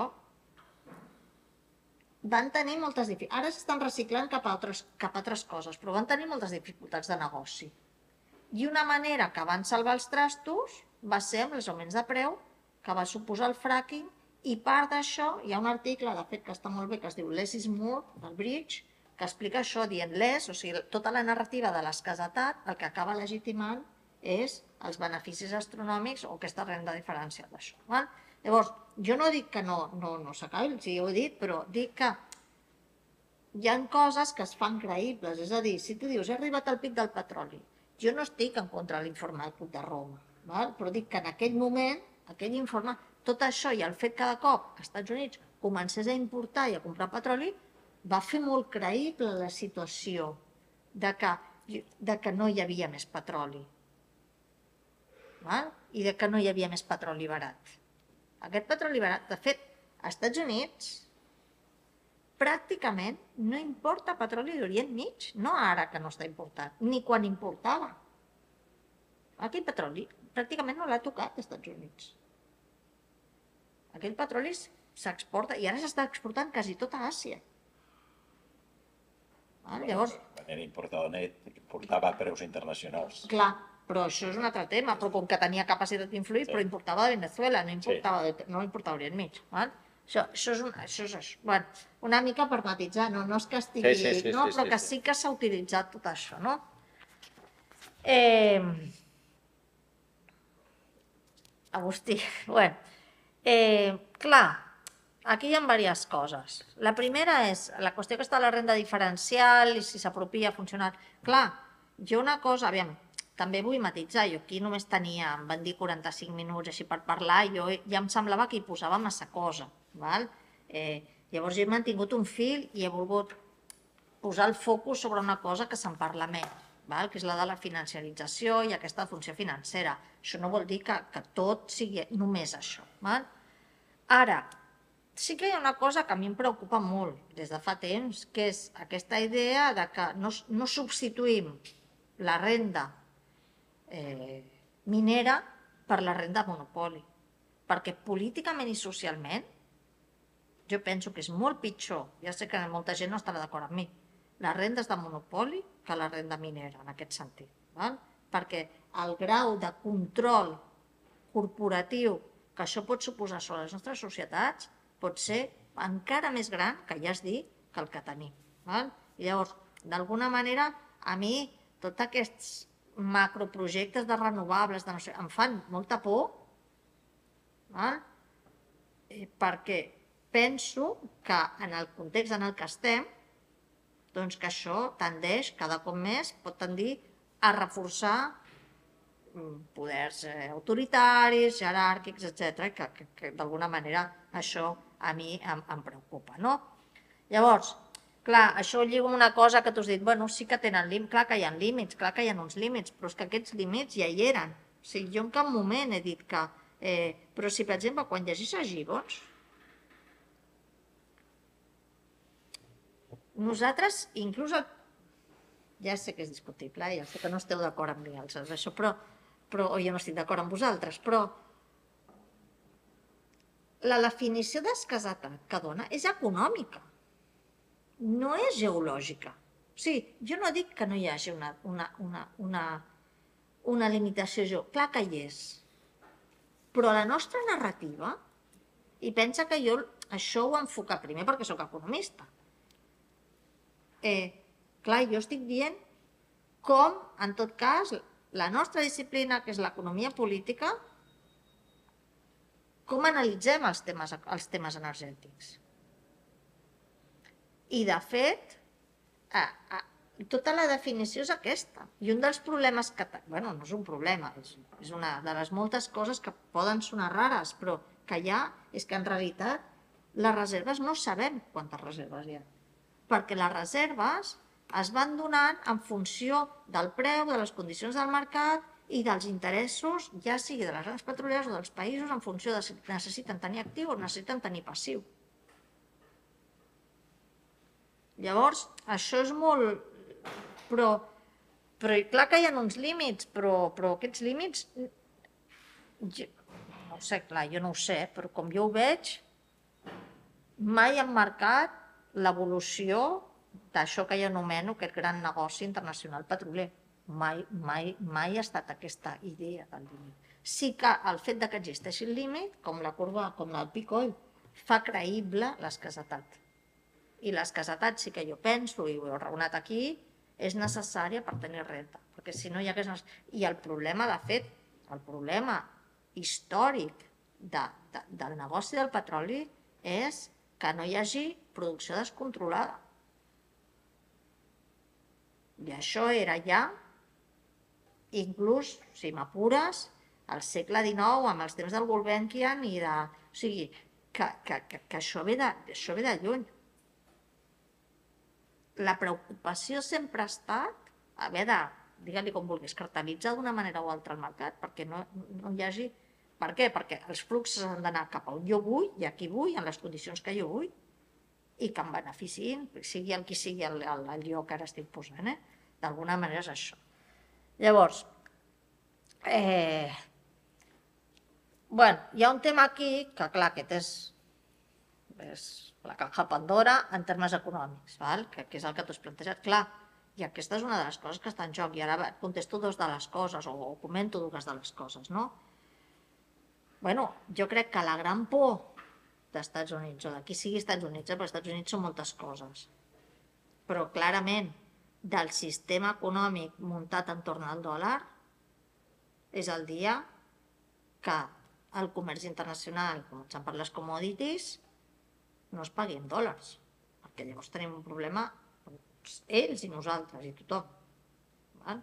Llavors, i això dona a peu per exemple, el que està passant ara. O sigui, un dels riscs del que està passant ara és que en algun moment Xina i Rússia decideixen que negocien petroli amb una divisa que no és dòlars i que es crea una àrea no dòlar d'intercanvi. Llavors, això sí que és un tema bueno, pues, que, que ja veurem, ja veurem com, com evoluciona, però efectivament, clar, perquè bueno, ho sabem, i a més està escrit d'això, doncs efectivament, eh, nosaltres també, el que passa que l'economia espanyola és molt petita i per tant no, bueno, petit, relativament, si ho compares amb els Estats Units i a part no tenim moneda, diguem, eh, divisa de referència, però però bueno, és que si, si això fos tot el sistema nord-americà com està econòmicament com es va muntar des de Bretton Woods, ja peta per tot. Llavors això, clar, aquest és un, aquest és un dels grans temes. No? Llavors, Rússia i Xina, bueno, Rússia i Xina, a part d'això, que és un tema, jo crec que sí, en el, en el sentit que jo estava plantejant, és important. Bueno, eh, clar, jo... Podem parlar d'això de dues maneres, si parlem d'energia. Eh? Podem parlar com de competència entre qui té més accés i com al petroli, val? O podem parlar del que jo he dit, que és Xina, al món del petroli, hi ha arribat tard. T'hi posis com t'hi posis. Sí. Llavors, Xina, a més a més, a dia d'avui encara està més basada en l'economia del carbó. O sigui, de fet, pràcticament no fet ni la transició al petroli. I aquesta és una de les grans limitacions que té l'economia xinesa. L'economia xinesa eh, a dia d'avui, bàsicament el que ha demostrat és que és capaç de fer el mateix que es va fer al Regne Unit al segle XIX. És a dir, tenir una indústria amb carbó, intensiva en mà d'obra, de baix valor afegit. Això és el que, el que sobretot ha demostrat. Això està molt lluny de tot l'altre. Llavors, clar, el petroli, els jaciments, els bons, això sí que estan ja més que, més que agafats. Val?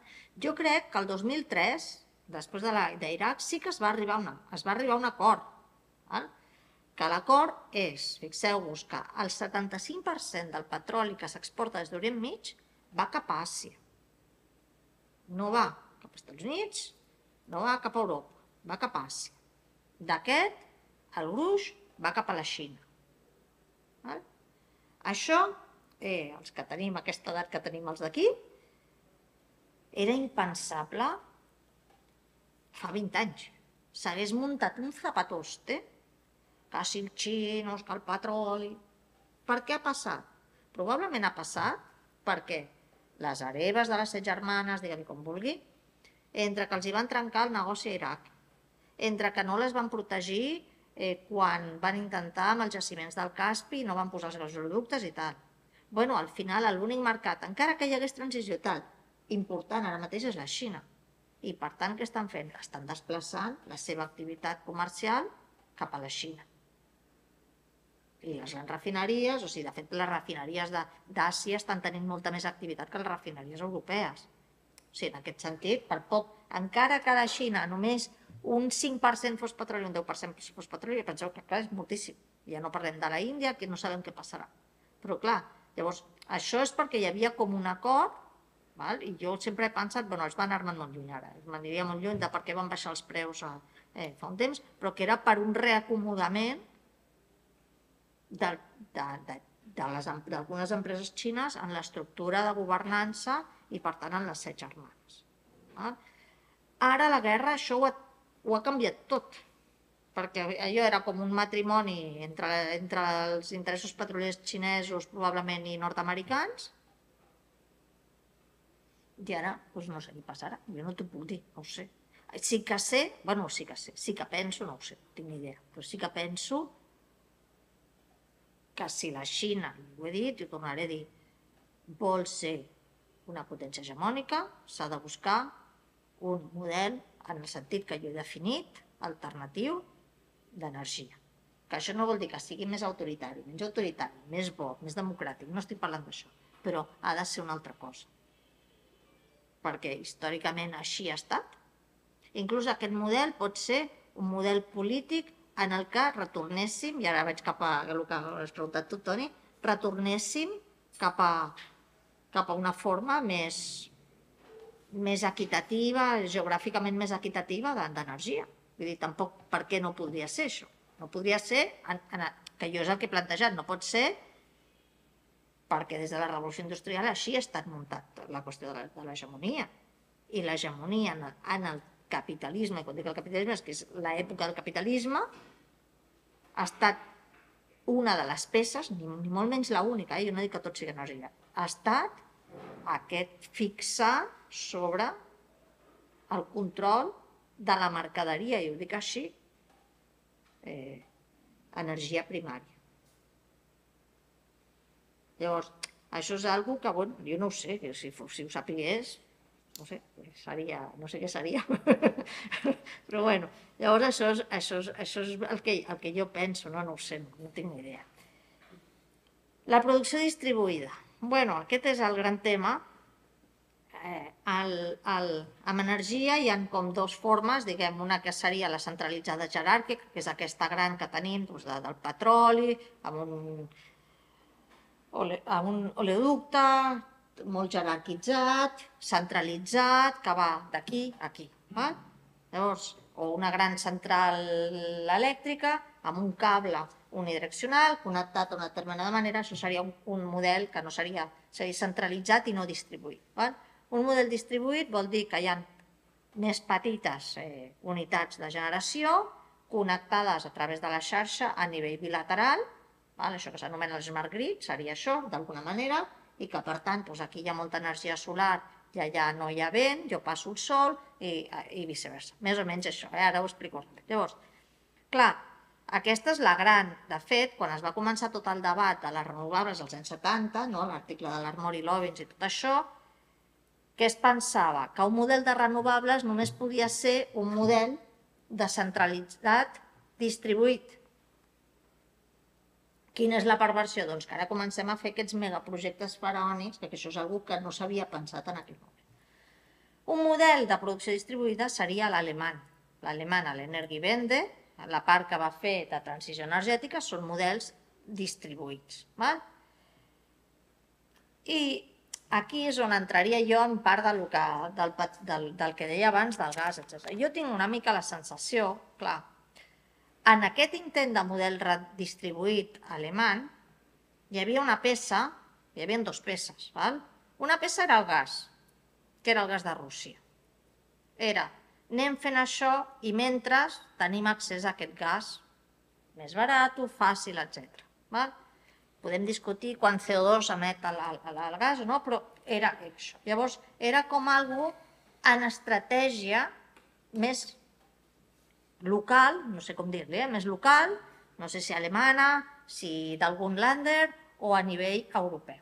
Val? I això era algo que estava aquí. I la segona peça d'aquesta estratègia, aquesta és la gran perversió, era l'hidrogen. Però no l'hidrogen com l'he plantejat, com l'estan plantejant. L'hidrogen era dir, com que quan tenim vent i tenim sol, doncs a vegades produïm més electricitat de la que necessitem, val?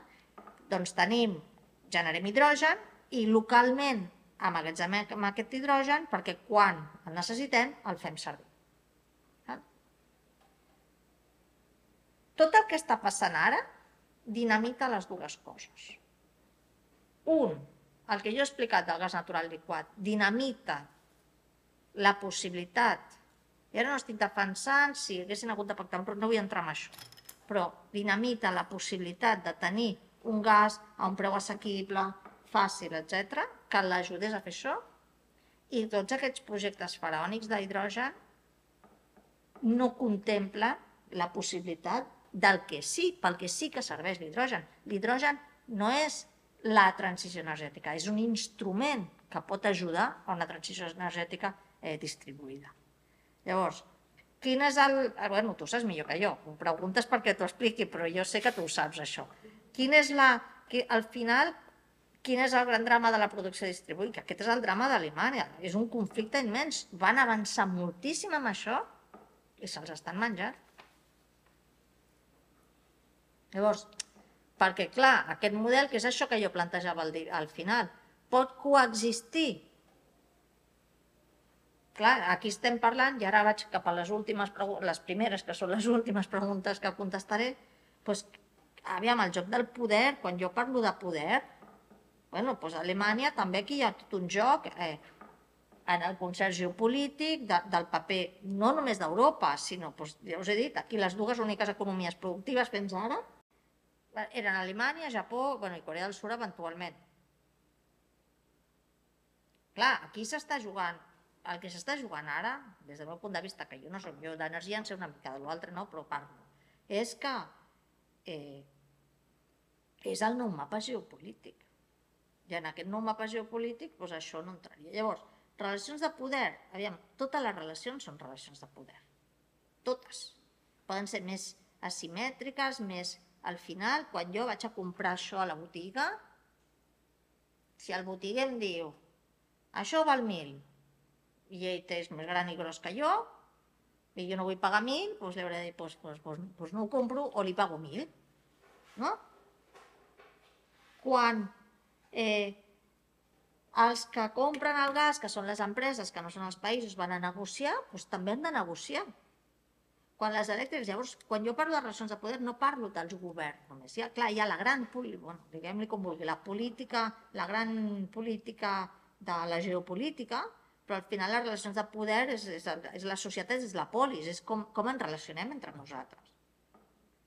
I clar, justament, i responc una mica a les dues, o sigui, jo el que potser no s'ha entès, però eh, jo no sé si és materialisme històric o materialisme cultural, no, no, no, no, no tinc capacitat d'entrar en aquest debat, però però jo sí que el que he volgut dir al començament, el que intentava expressar al començament, és justament això, que un model energètic és la part d'un tot, i la part del tot és la cultura, és la ideologia, són les relacions socials, és si anem en taxi o anem en metro, és com jo, bueno, a classe els hi poso, quan explico això, poso sempre unes fotos, que no he portat perquè m'ha semblat excessiu, però vaja, una altra, si, si voleu les busco, no? Però que, que són pues, del capitalisme agrari, de no sé què, i els hi faig fer com un exercici d'imaginació, de dir, bueno, aquí, i com es distribueix el territori, i quines serien les, no sé què, clar, cada una d'aquestes coses i és cultura, és poder. O sigui, al final la, la, la cultura, bueno, no sé, potser, i clar, una cosa és el que podem parlar, però dir, dir, també, no? És, és, és com vivim, com pensem, Eh, I per tant, jo crec que no, no és contradictori una cosa amb l'altra. Vaja, crec jo, eh? no ho sé, però això és com ho veig. I no sé si he contestat més o menys a tot el que se m'ha preguntat. Sí. Deixa'm dir una, una, una cosa. Eh, per, per, No perquè sé si quedi, que algun- quedi Ah, clar que estic d'acord amb la immensa majoria de la excel·lent conferència, però només, Però- només, no, només aclarir una cosa perquè no sembli més que tinguem més diferències de les que tenim respecte a això de l'escassetat. De fet, els que ens preocupa i pensem que hi ha una escassetat important de, de petroli, no ens preocupa només la quantitat, sinó també i sobretot la qualitat, no? perquè la prova és que el fet de que en el, molts llocs del món, començant per Estats Units, que va disminuir l'extracció de, del petroli convencional de fa molt, com està passant a bastantes zones del món, el fet que estigui explotant tècniques més costoses ambiental, energèticament i, i també econòmicament, eh, amb el fracking, amb les sorres bituminoses, etc etc, és pura prova de l'escassetat que hi ha. Clar que és veritat que es podria estar extraient només d'Aràbia Saudí, dels llocs més baratos, el qual agreujaria els problemes d'escassetat en el futur, diguem-ne, no? perquè estaries encara accelerant molt més. Eh? O sigui que en aquest, en aquest terreny de la importància de la qualitat estem totalment d'acord, eh? Vull dir, No, no, sí, jo no. de la importància Aviam, del factor... jo- No, no, perquè no sembli més... Sí, No, més no, jo només aportava Sí, un sí, punt de no, no. vista diferent. Bueno, intentava aportar un punt de vista diferent, que és el que Sí, se sí, m'havia sí. demanat. Sí, sí. Perdó. No, no, no, jo, jo diria que és que... de hem temps- d'acabar, no? De temps eh, hem d'acabar, no sé si... Uh, bueno, si em deixes dir... Clar, clar, clar, clar. Do, dos cosetes, no? A dir, dir que jo crec que, i ens, i ens ho diem, no? És a dir, jo crec que l'hem encertat completament en fer aquesta conferència, que és altament, eh, bueno, que ens ha ensenyat moltíssimes coses, que potser a partir d'ara mirarem el tema amb molta menys simplicitat i amb més realisme i no sé si amb, amb més por, possiblement, no? Però bueno, i agrair a tots vosaltres que, que heu vingut aquí, perquè hi ha moltes coses a fer a, Barcelona i venir les- aquí a les doncs, sis de la tarda a les 6 de la tarda i heu escollit a, a aquesta opció. Moltes gràcies. I moltes gràcies a la conferència, evidentment. Gràcies a perquè és tan vosaltres. magnífica, una exposició magnífica. Gràcies. Moltes gràcies.